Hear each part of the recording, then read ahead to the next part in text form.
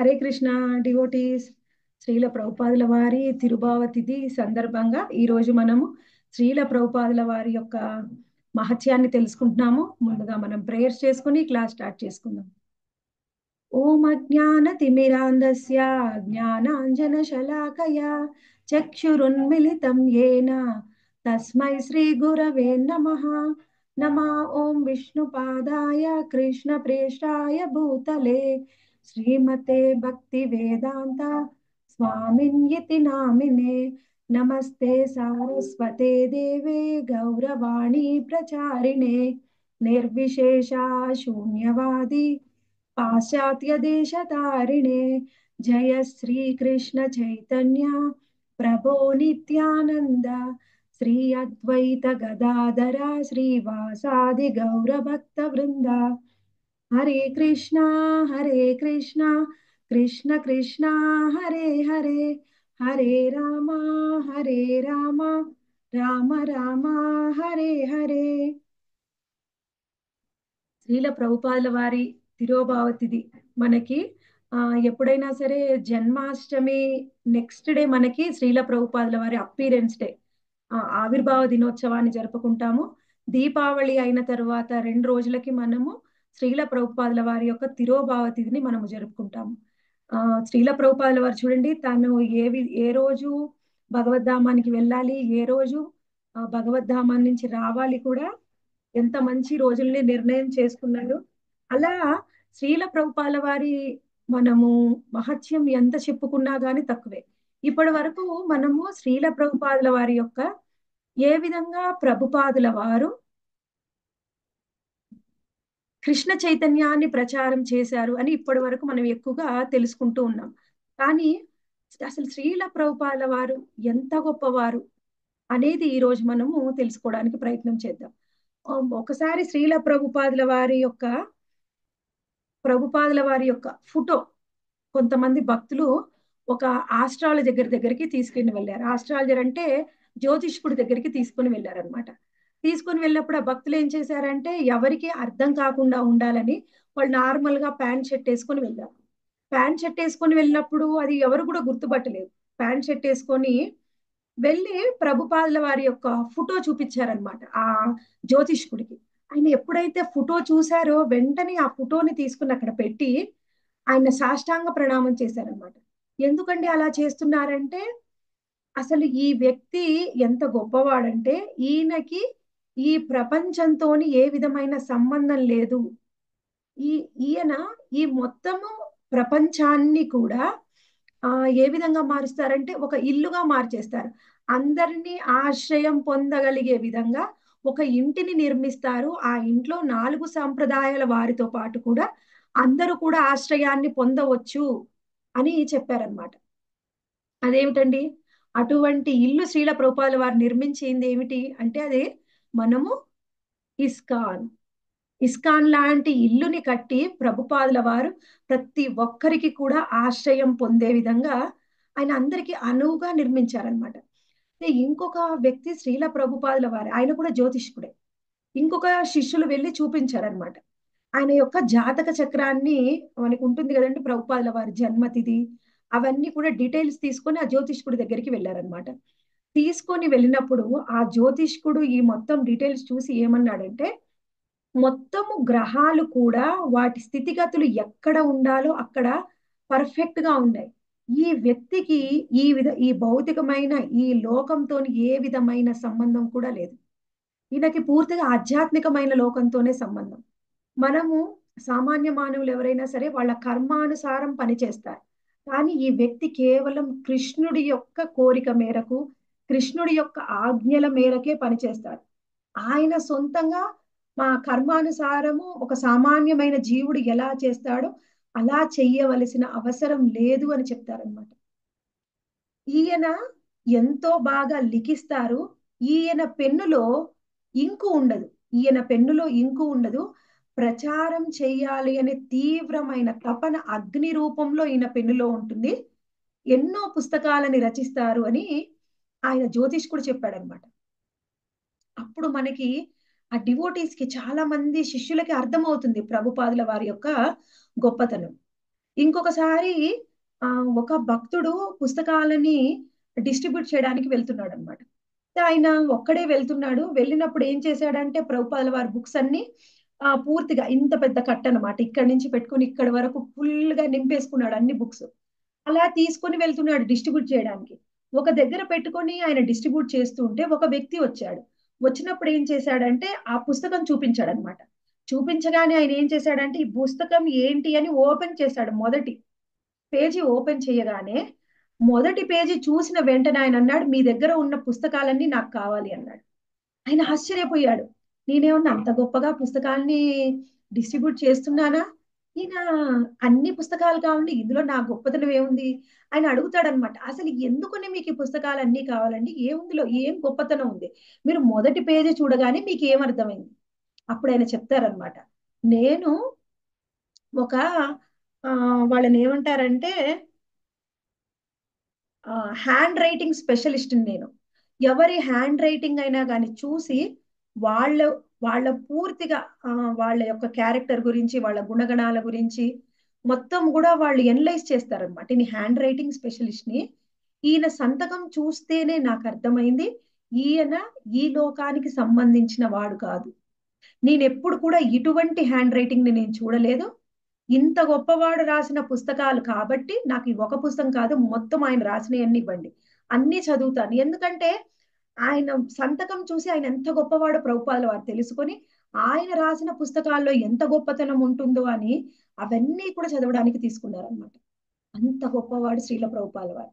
మనకి సామాన్యంగా మనం ప్రతిరోజు మాట్లాడుకుంటాం ప్రతిరోజు చర్చిస్తుంటాం ప్రతిరోజు చూస్తూ ఉంటాం కాబట్టి చాలా మందికి ఆయన గొప్పతనం తెలియదు. కానీ ఇప్పుడు ఎవరిలో అయినా ఎదుటి వాళ్ళలో ఉండే గొప్పతనం తెలుసుకోవాలి అంటే మనలో కూడా కొంత గొప్పతనం తెలివితేటలు ఉండాలి. ఎవరికైతే ఆ విధంగా ఉందో వాళ్ళందరికీ ప్రభుపాదుల వారి గురించి అర్థమవుతుంది. ప్రభుపాదుల వారిని ఒక ఒక వ్యక్తి అడిగాడు అనమాట ఒక రిపోర్టర్. మీరు మీ జీవిత కాలంలో నూట ఎనిమిది మందిరాలని స్థాపించారు కదా? ఇన్ని మందిరాలని మీరు ఎలా స్థాపించారు? స్థాపించడానికి కారణం ఏమిటి?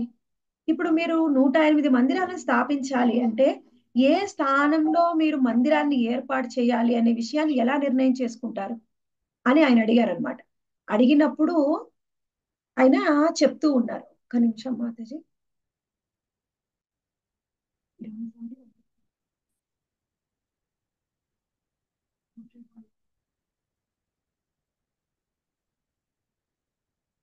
ఆ మందిరం ఎలా నిర్ణయం చేసుకుంటారు? మీరు ఈ ప్లేస్ కావాలి ఆ ప్లేస్ కావాలి నిర్ణయం ఎలా చేస్తారు? అప్పుడు ఆయన చెప్తూ ఉన్నారనమాట ప్రభుపాదుల వారు స్వయంగా ఆ వ్యక్తితో చెప్పారు. నిర్ణయం చేయడానికి నేనెవరిని? ఈ నూట ఎనిమిది మందిరాలకి సంబంధించిన భూమి పూజ ఎప్పుడో జరిగిపోయింది. మన సంప్రదాయానికి ఆచార్యుడు ఎవరంటే మూల ఆచార్యుడు శ్రీల నారద మహాముని. నారద మహాముని ఎప్పుడో గత కాలంలోనే నూట ఎనిమిది మందిరాలకి భూమి పూజ చేశారు. ఆ స్థానంలో మేము మందిరాలని కట్టడానికి నిర్ణయం చేస్తున్నాం అంతే. నేనేమి చేయడం లేదు అని చెప్తారనమాట అంటే ప్రభుపాల వారి యొక్క గొప్పతనం చూడండి. మనము అది ఎలా? నారద మహాముని ఎక్కడ భూమి పూజ చేస్తున్నారో అక్కడే శ్రీల ప్రభుపాదుల వారు మందిరం నిర్ణయం చేస్తున్నాడు అనడానికి ఇంకొక ఉదాహరణ ఉందన్నమాట. ఒకసారి ఏం జరిగిందంటే ప్రభుపాదుల వారు నిర్ణయం చేశారు ఇక్కడ మందిరం రావాలి మనం భూమి పూజ చెయ్యాలి అని. అలా నిర్ణయం అయిపోయింది మందిరం ప్లేస్ తీసుకోవడం అయిపోయింది. ఇంకా అక్కడ కన్స్ట్రక్షన్ స్టార్ట్ చేయాలి. అప్పుడు ఏం చేస్తున్నారు అంటే వాళ్ళు తవ్వడం స్టార్ట్ చేశారు. తవ్వడం స్టార్ట్ చేసినప్పుడు వాళ్ళకి అనిపించింది భూమి ఎంతగా అంటే చాలా కోమలంగా ఉందన్నమాట. అంటే మెత్తగా ఉంది గట్టిగా లేదు. అంత మెత్తగా ఉన్న ప్రదేశంలో ఏదైనా ఒక కట్టడం ప్రారంభించాలన్నా ఏదైనా కట్టడం చెయ్యాలి అంటే చాలా కష్టం. అందుకని వాళ్ళు ఏం చేశారంటే ఈ మట్టిని పరీక్ష చేసే ఎనలిస్టులు ఉంటారనమాట వాళ్ళ దగ్గరికి వెళ్ళి వాళ్ళని పిలిపించారు శిష్యులు. పిలిపించి ఇక్కడ మేము కట్టడానికి అనువైన ప్రదేశమా కాదా అని. ఆయన వాళ్ళు టెస్ట్ చేసి చెప్పారు ఈ భూమి కట్టడానికి పనికిరాదు. ఇది ఎంతో మెత్తగా ఉంది కోమలంగా ఉంది. ఇక్కడ కట్టడానికి పనికిరాదు అని నిర్ణయం చేస్తారు. అప్పుడు వాళ్ళకి శిష్యులకి ఏం చేయాలో అర్థం కాదు. ఆల్రెడీ మరి మా గురువు గారు ఇక్కడ నిర్ణయం చేశారు. ఏం చేయాలి అని వెళ్ళి ప్రభుపాదుల వారిని మళ్ళీ అడుగుతారు. అప్పుడు ప్రభుపాదుల వారు అంటారు లేదు లేదు మనం అక్కడే మందిరం నిర్మించాలి. లేదు ప్రభుపాది ఇక్కడ వాళ్ళు మరి ఎనలిస్టులు చెప్తున్నారు వాళ్ళ సాయిల్ టెస్ట్ చేశారు. ఇక్కడ మందిరం కట్టడానికి వీలుగా లేదు అని. అప్పుడు ప్రభుపాల వారు ఏమంటారంటే ఇక్కడ మందిరం కట్టాలి అనే నిర్ణయం ఎప్పుడో జరిగిపోయింది. ఇప్పుడు జరిగింది కాదు. ఎట్టి పరిస్థితుల్లో ఇక్కడ మందిరం కట్టాలి. అయితే ఇలా కుదరదు మరి ఏం చేద్దాం? అప్పుడు ప్రభుపాల వారు లేచి ఆయన చేతి కర్ర ఉంటుంది కదండి ఆ చేతి కర్రతోని ఎక్కడైతే మందిరం రావాలో అంత ప్రదేశం వరకు ఒక చతురస్రాన్ని గీస్తారనమాట ప్రభుపాల వారి చేతి కర్రతోని. ఇప్పుడు చెప్తారు మీరు ఇక్కడ తవ్వండి. ఆల్రెడీ ఇప్పుడే తవ్వాము ఇక్కడ కుదరదని చెప్తున్నారండి. లేదు లేదు ఇప్పుడు తవ్వండి. సరే అని తవ్వడం ప్రారంభించారు. ఆ తొవ్విన కొద్దిసేపటికే దాని కింద చాలా పెద్ద బండ అనేది దొరికిందనమాట ప్రభుపాదుల వారు నిర్ణయం చేసుకున్నారు. ఇక్కడ మందిరం రావాలని. ఎప్పుడైతే ప్రభుపాదుల వారు సంకల్పం చేసుకున్నారో ఆ భూమి అంతకుముందు పనికిరాంది. కానీ ఇప్పుడు పనికొచ్చింది. ప్రభుపాల వారు చెప్తారు నారద మహాముని నిర్ణయించిన ప్రదేశం. ఇక్కడ ఖచ్చితంగా మందిరం రావలసిందే. అలా ప్రభుపాల వారు చూసిన చూడ్డానికి మనందరితోని అక్కడ అప్పుడు ఉన్న భక్తులతోని సాధారణంగా సామాన్యంగా తిరిగినంత మాత్రాన ప్రభుపాదుల వారు సామాన్యులు కాదు. ప్రభుపాదుల వారు అసలు ఈ లోకానికి సంబంధించిన వారు కాదు. స్వయంగా ఆ ప్రభుపాదుల వారిని వాళ్ళ ఫ్రెండ్స్ అడుగుతున్నారనమాట ఒకరోజు ఒక ఫ్రెండ్ అడుగుతున్నాడు ఏమనంటే మీరు అప్పుడు చైతన్య మహాప్రభు బెంగాల్లో అక్కడ చైతన్య మహాప్రభు అప్పుడు అందరికీ తెలుసు. మహాప్రభు ఫాలోవర్స్ చాలా మంది ఉన్నారనమాట కొంతమందికి కొంత పుస్తక పఠన యొక్క పుస్తకం పఠన చేసే అవకాశం కూడా ఉంది అలవాటు కూడా ఉంది. అయితే ప్రభుపాల వారి స్నేహితుడు ఒక ఆయన అడుగుతున్నారనమాట ఇక్కడ రాయబడి ఉంది సర్వత్ర నామ్ ప్రచార్ హోయేగా నామ్ సర్వత్ర ప్రచార్ హోయేగా నాం. అంటే సర్వత్ర అంటే ఇది ఎలా సాధ్యము? సర్వత్ర అంటే మొత్తం ఈ ప్రపంచం అంతా ఈ నామము ప్రచారం చేయడం ఇది ఎలా సాధ్యం? ఎవరు చేస్తారు ఈ విధంగా ప్రచారాన్ని అని ఒక స్నేహితుడు అడుగుతున్నాడు. అప్పుడు ప్రభుపాల వారు అంటున్నారు ఒకవేళ మహాప్రభువు చెప్పారు అంటే అది ఖచ్చితంగా జరుగుతుంది. నీకు నమ్మకం లేదు కాబట్టి ఖచ్చితంగా నువ్వైతే కాదు అని చెప్తారు. నీకు నీకు మహాప్రభు చెప్పిన మాట మీదనే నీకు నమ్మకం లేనప్పుడు ప్రచారం చేయడం నీకేం చేతనవుతుంది? నువ్వైతే కాదు అంటారనమాట అంటే ఎంతగా అంటే ప్రభుపాల వారికి నమ్మకము చాలా చిన్న పిల్లవాడిగా ఉన్నప్పుడే మహాప్రభువు చెప్పారు అంటే అది అయి తీరుతుంది. అంతగా ఆచార్యుల మాటకి మనకి శ్రీకృష్ణ భగవానుడు ఏదైనా శాస్త్ర సంబంధమైన విషయాలకి ప్రభుపాదుల వారు ఎంతో ఖచ్చితంగా నమ్మేవారు. అలా ఆయన చిన్న వయసులోనే మనం ఇంతకుముందు కూడా చెప్పుకున్నాం. ప్రభుపాదుల వారు చిన్న వయసులోనే ఆయన ఐదు సంవత్సరాల వయసులోనే రథయాత్ర చేశారు. వారి యొక్క తండ్రి గారి యొక్క సహకారంతో రథయాత్ర ప్రారంభించారు. అప్పుడు అక్కడ ఉన్న చుట్టుపక్కల వాళ్ళు అందరు కూడా ప్రభుపాదుల వారిని అడుగుతున్నారనమాట నువ్వు ఈ రథాన్ని ఎక్కడి దాకా తీసుకుని వెళ్తావు? అప్పుడు ప్రభుపాదుల వారు ఏమంటున్నారంటే నేను రథాన్ని తీసుకొని వెళ్తాను లండన్కి నేను రథాన్ని తీసుకొని వెళ్తాను లాస్ ఏంజల్స్కి నేను ఈ రథాన్ని తీసుకొని వెళ్తాను న్యూయార్క్కి అప్పుడు వాళ్ళకి అనిపిస్తుంది వాళ్ళందరికీ తెలుసు. లండన్ అంటే అందరికీ తెలుసు. ఎందుకంటే అప్పుడు బ్రిటిషర్స్ వచ్చి ఉన్నారు మన ఇండియాను రూల్ చేస్తున్నారు. అందరు కూడా బారిస్టర్ చేయడానికి లండన్ వెళ్తున్నారు అప్పుడు. కానీ మరి ఇల్లు న్యూయార్క్ లాస్ ఏంజల్స్ వాళ్ళు ఎప్పుడు కూడా వినలేదు. అప్పుడు వాళ్ళందరికీ డౌట్ వచ్చిందనమాట. ఈ న్యూయార్క్ ఏంటి లాస్ ఏంజల్స్ ఏంటి? అంటే ప్రభుపాద వారికి చూడండి చిన్నప్పుడే ఎంత పట్టుదల ఉండేదంటే నేను ఎలా అయినా సరే ఈ జగన్నాథ్ని మొత్తం ప్రపంచమంతా కూడా తీసుకొని వెళ్తాను అని ఖచ్చితంగా నమ్మేవారు. ఆయన చిన్నప్పుడు కూడా మనము ఆయన ఆస్ట్రాలజీలో జాతకంలో ఏం చెప్పారంటే ఈ బాబు పుట్టి పెద్దయిన తర్వాత మొత్తం ప్రపంచం అంతా చుట్టి వస్తారు. ప్రపంచం మొత్తము నూట ఎనిమిది మందిరాలని నిర్మిస్తారు అని చిన్నప్పుడే చెప్పారు. ఆ విధంగా అందుకని వాళ్ళ నాన్నగారు ఎప్పుడు కోరుకునేవారు అనమాట నా పుత్రుడు రాధారాణి యొక్క శుద్ధ భక్తుడు కావాలి అని. ఆయన చాలా బలంగా నమ్మేవారు కోరుకునేవారు కూడా. అలా ప్రభుపాదుల వారుని చూస్తే మనకి ఆయన గొప్పతనం తెలుస్తుంది. కానీ భక్తులకు ఆ విషయం తెలుస్తుంది. కొంతమంది పాశ్చాత్య దేశస్తులకి కొంతమంది అభక్తులకి ఏం కావాలి అంటే ప్రభుపాదుల వారిని చూడగానే ఎవరైనా ఒక స్వామీజీని ఒక సాధువుని చూడగానే ఏం కావాలని కోరుకుంటారు? హరే కృష్ణ మాత చెప్పండి. ఎవరైనా ఒక సాధువుని చూస్తే ఒక సామాన్యుడు ఏం చూడాలని కోరుకుంటారు ఆయన దగ్గర?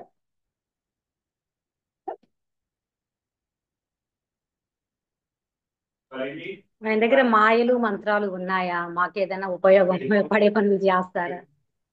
మాకేదైనా కష్టాలు తీసివేస్తారా? ఇవి ఆలోచిస్తారు. ఇవే ఆలోచిస్తారు. అందుకనే చూడండి మాయలు మంత్రాలు ఆ చూపించే సాధువుల దగ్గరికి ఏదైనా చూపిస్తున్నారంటే వాళ్ళ దగ్గరికి ఎక్కువగా వెళ్తారు. కానీ ప్రభుపాదుల వారు ఎప్పుడు కూడా అటువంటి మాయలు మంత్రాలు చేయలేదు. ఎవరి ముందు కూడా చేయలేదు. కానీ ప్రభుపాదుల వారి ఏ విధంగా ఉండేదంటే ఆయన తత్వపరంగా వెళ్ళేవారు. ఆయన ఎప్పుడు మాయలు మంత్రాలు చూపించి ఎవరిని కూడా మాయలో పడేయలేదు. తత్వపరంగానే వెళ్ళ ఎవరైతే తత్వపరంగా ముందుకు వెళ్తారో వాళ్ళని నమ్మేవారు తక్కువగా ఉండవచ్చు కానీ నమ్మిన వాళ్ళు చాలా బలంగా నమ్ముతారు. అందుకనే చూడండి ఎవరైతే క్లాస్ పీపుల్ క్లాస్ పీపుల్ అంటే కాస్త చదువుకున్న వాళ్ళు ఏం చేస్తారంటే వాళ్ళు తత్వపరంగా తెలుసుకోవడానికి ప్రయత్నం చేస్తారు. తత్వపరంగా తెలుసుకున్న వాళ్ళు ఎప్పటికీ విడిచిపెట్టరు. ఎవరికైతే ఎక్కువగా చదువు రాదో ఎక్కువగా జ్ఞానం లేదో వాళ్ళు ఏం చేస్తారంటే ఈ విధంగా మాయలు మంత్రాలు కావాలని చూస్తారు. మనకి పాశ్చాత్య దేశస్తుల్లో కూడా ఈ ఎవరైనా ఇండియన్ స్వామీజీలు అంటే ఈ మాయలు మంత్రాలే చూస్తారనమాట అలా కొన్ని సిచ్యువేషన్స్ జరిగాయి శ్రీల ప్రభుపాదుల వారితో అప్పుడు ప్రభుపాదుల వారు ఏ విధంగా స్పందించారు అనేది చాలా ఇంపార్టెంట్ ఒకరోజు ఒక ఒక మాయాజాలకుడు కనిపించాడు అనమాట ప్రభుపాల వారిని కలవడం జరిగింది. కలవడం జరిగినప్పుడు ఆయన అడిగారు ప్రభుపాల వారిని మీకేమొచ్చు? మీరేం చేయగలరు? ఏం చూపిస్తారు? ప్రభుపాల వారు నాకే వచ్చండి నేనేం చేయలేను ఏం చూపించలేను. అయితే మీరే చూపించండి. సరే అయితే నేను ఇప్పుడే మీకు చూపిస్తాను. అని పక్కనే ఉండే ఒక చిన్న బస్తాలోంచి మట్టిని తీశాడు మట్టిని తీసి ఆ ఆయన చేతిలో పట్టుకొని ప్రభుపాల వారి చేయి మీద ఆయన చేయిని ఉంచి కాసేపు ఏవో మంత్రాలు చదివాడు. మంత్రాలు చదివి చెయ్యి తెరవగానే ఏం జరిగిందంటే అందులో మట్టి ప్లేస్లో పంచదార ఉందన్నమాట. అవునా? పంచదార మట్టి ఎలా పంచదారగా మారిపోయింది? అంటారు ప్రభుపాల వారు. తర్వాత ఏం చేస్తాడు? మళ్ళీ అదే పంచదార నేను ఇప్పుడు మట్టిగా మార్చైనా? అని మళ్ళీ కాసేపు మంత్రాలు చదివి ఆ పంచదారని మట్టిగా మార్చేశారు. అప్పుడు ప్రభుపాల వారు అంటారు అవునా? మీరు ఎంత బాగా చేశారండి? ఇంకొకసారి చేరి ఇంకొకసారి నాకు చూపించరా? అంటారు ప్రభుపాల వారు. సరే అయితే ఇంకొకసారి అదే చూపిస్తాను అని మట్టి తీసుకుంటాడు కాసేపు మంత్రాలు చదువుతాడు చూస్తే పంచదారగా మారదు మట్టిగానే ఉంటుంది. అదేంటి? పంచదారగా మారలేదు అని మళ్ళీ అక్కడ పెట్టి మళ్ళీ ప్రయత్నం చేస్తాడు. ఎన్నిసార్లు ప్రయత్నం చేసినా పంచదారగా మారట్లేదు. అప్పుడు ఆ మాయాజాలం వచ్చిన వ్యక్తి లబోదిగో అని మొత్తుకుంటాడు. ఎందుకంటే ఈ సాధువు ఈ స్వామీజీ ఏమో చేశాడు నాకున్న శక్తిని తీసేశాడని పాప ఆయన అరుచుకుంటూ వెళ్ళిపోతాడు అనమాట ప్రభుపాదుల వారికి అడుగుతారు పక్కన ఉన్న వాళ్ళు ఏంటి ప్రభుపాది మీరు ఎందుకు అలా చేశారంటే ఆయనకి ఆయనకున్న మాయాజాలం మీద అహంకారం ఉంది. అందుకనే కాస్త బుద్ధి చెప్పాను అంటారనమాట ఇంకొకసారి ఏం జరుగుతుందంటే ఒక తాంత్రికుడు మన ఇస్కాన్ డివోటీస్ ఉన్న ప్రదేశానికి ప్రభుపాల వారు ఆయన శిష్యులు ఉన్న ప్రదేశానికి వస్తాడు. ప్రదేశానికి వచ్చి అక్కడ శిష్యులతోని మాట్లాడుతూ ఉంటాడు అనమాట మాట్లాడుతున్నప్పుడు ఆయన చెప్పింది ఏదో శిష్యులు ఒప్పుకోరు.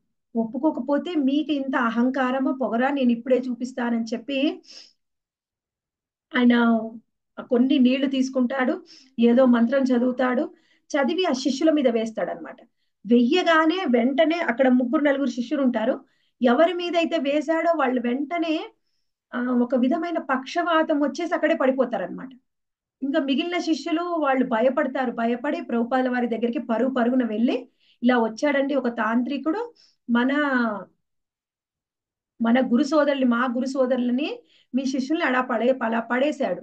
వాళ్ళిద్దరు పడిపోయారు. ఏం చేయాలండి అని ప్రభుపాల వారి దగ్గరికి వెళ్ళాడు. వెళ్ళి అడగగానే ప్రభుపాల వారు అంటారు అవునా? అయితే ఆయన్ని తీసుకురండి. నా శిష్యుల్ని కూడా తీసుకురండి. అందరినీ తీసుకుని రండి. వాళ్ళందరినీ తీసుకుని వస్తారు. ఆ తాంత్రికుడు ఆ ప్రభుపాల వారికి అప్పుడు ఏం చేస్తూ ఉంటారంటే అక్కడ శిష్యులు అక్కడ ఆయన శిష్యులు మసాజ్ చేస్తూ ఉంటారు బాడీకి. మసాజ్ చేస్తూ ఉంటే ప్రభుపాల వారు అలానే మసాజ్ చేయించుకుంటూ ఉంటారు. ఆయన అడుగుతారనమాట ఏం కావాలి మీకు? ఏం చేశారు? అంటే మీ శిష్యులు ఆ ఏదో పొగరుగా మాట్లాడారు అందుకని నేను ఇలా చేశాను. అవునా? అని ప్రభుపాల వారి పక్కనే కొన్ని పూలు ఉంటాయి అన్నమాట ఆ పూలని తీసి ఆయన మీదకి అలా వేస్తాడు. వెయ్యగానే ఇంతకు ముందు శిష్యులు ఎలా పక్షవాతం వచ్చి పడిపోయారో అలా ఆ తాంత్రికుడు పడిపోతారు. వెంటనే ఆ మరుక్షణంలో మళ్ళీ అక్కడ ఉన్న పూలని తీస్తాడు ఆయన శిష్యుల మీద వేస్తారు. ఆయన శిష్యులు మంచిగా నార్మల్గా అయిపోయి నిలబడతారు అనమాట ఇది అందరి శిష్యుల కళ్ళ ముందు అక్కడ జరిగింది. అప్పుడు శిష్యులందరూ అడుగుతారు ఏమైంది ప్రభుపాద్? మీరు ఏం చేశారు వాళ్ళని? మీకు ఇవి కూడా తెలుసా? అని వాళ్ళందరూ ఆశ్చర్యపోతూ ఉంటారనమాట ఆశ్చర్యపోయి మరి ఈయన పరిస్థితి ఏమిటి? మరి ఈయన ఎప్పుడు లేస్తాడంటే కాసేపు ఆగి ఆయనే లేస్తాడు. లేకపోతే నా శిష్యుల్ని అవమానిస్తాడా? నా శిష్యుల్ని ఈ విధంగా చేస్తాడా? ఎవరైతే నా శిష్యుల జోలికి వస్తారో వాళ్ళకి ఈ విధంగానే గుణపాఠం చెప్తానని ప్రభుపాదుల వారు ఆయనకి గుణపాఠం చెప్తారనమాట ప్రభుపాదుల వారికి ఎప్పుడు కూడా ఆ ఎంతగా అంటే ఆయనకి ఇంత శక్తి రావడానికి ప్రభుపాదుల వారు అనేక సార్లు చెప్తూ ఉంటారు. కారణం ఏమిటి అంటే మా గురుదేవుల యొక్క ఆజ్ఞని పాటించడమే. మా గురుదేవుల యొక్క ఆజ్ఞను నేను పాటించాను కాబట్టే ప్రతి క్షణం ప్రతి క్షణం కూడా వాళ్ళ గురు మహారాజు భక్తి సిద్ధాంత సరస్వతి ఠాకూర్లు ఏం చెప్పారో అది తూచా తప్పకుండా పాటించేవారు. ఆయన చెప్పేవారు మీరు ఇండియాలో ఇచ్చినట్టు ఎప్పుడు కూడా పాశ్చాత్య దేశాల్లో నలభై నిమిషాలకు మించి క్లాస్ ఇవ్వకూడదు అని చెప్పారు. ప్రభుపాద వారిది ఖచ్చితంగా పాటించేవారు అనమాట ఇప్పుడు కూడా అంతకు మించి క్లాస్ ఉండేది కాదు. ఆయన ఏం చెప్పారంటే మీ దగ్గర క్లాస్ వినడానికి ఒక్క వ్యక్తి అయినా సరే లేకపోయినా సరే ఖచ్చితంగా మీరు ఖచ్చితంగా నువ్వు టైం టు టైం క్లాసెస్ ఇవ్వాల్సిందే. ఒకరోజు అలానే జరిగింది.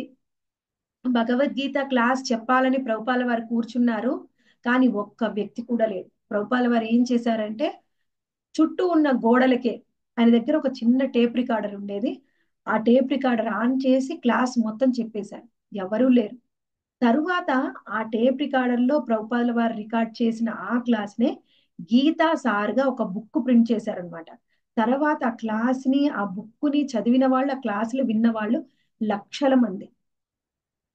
మనము ఎలా అంటే ప్రభుపాదుల వారు ఆయన జీవితంలో నైన్టీన్ ట్వంటీ టూలో పంతొమ్మిది వందల ఇరవై రెండులో ఆయన గురువుగారు చెప్పారు నువ్వు పాశ్చాత్య దేశాలకు వెళ్ళి ప్రచారం చెయ్యి అని.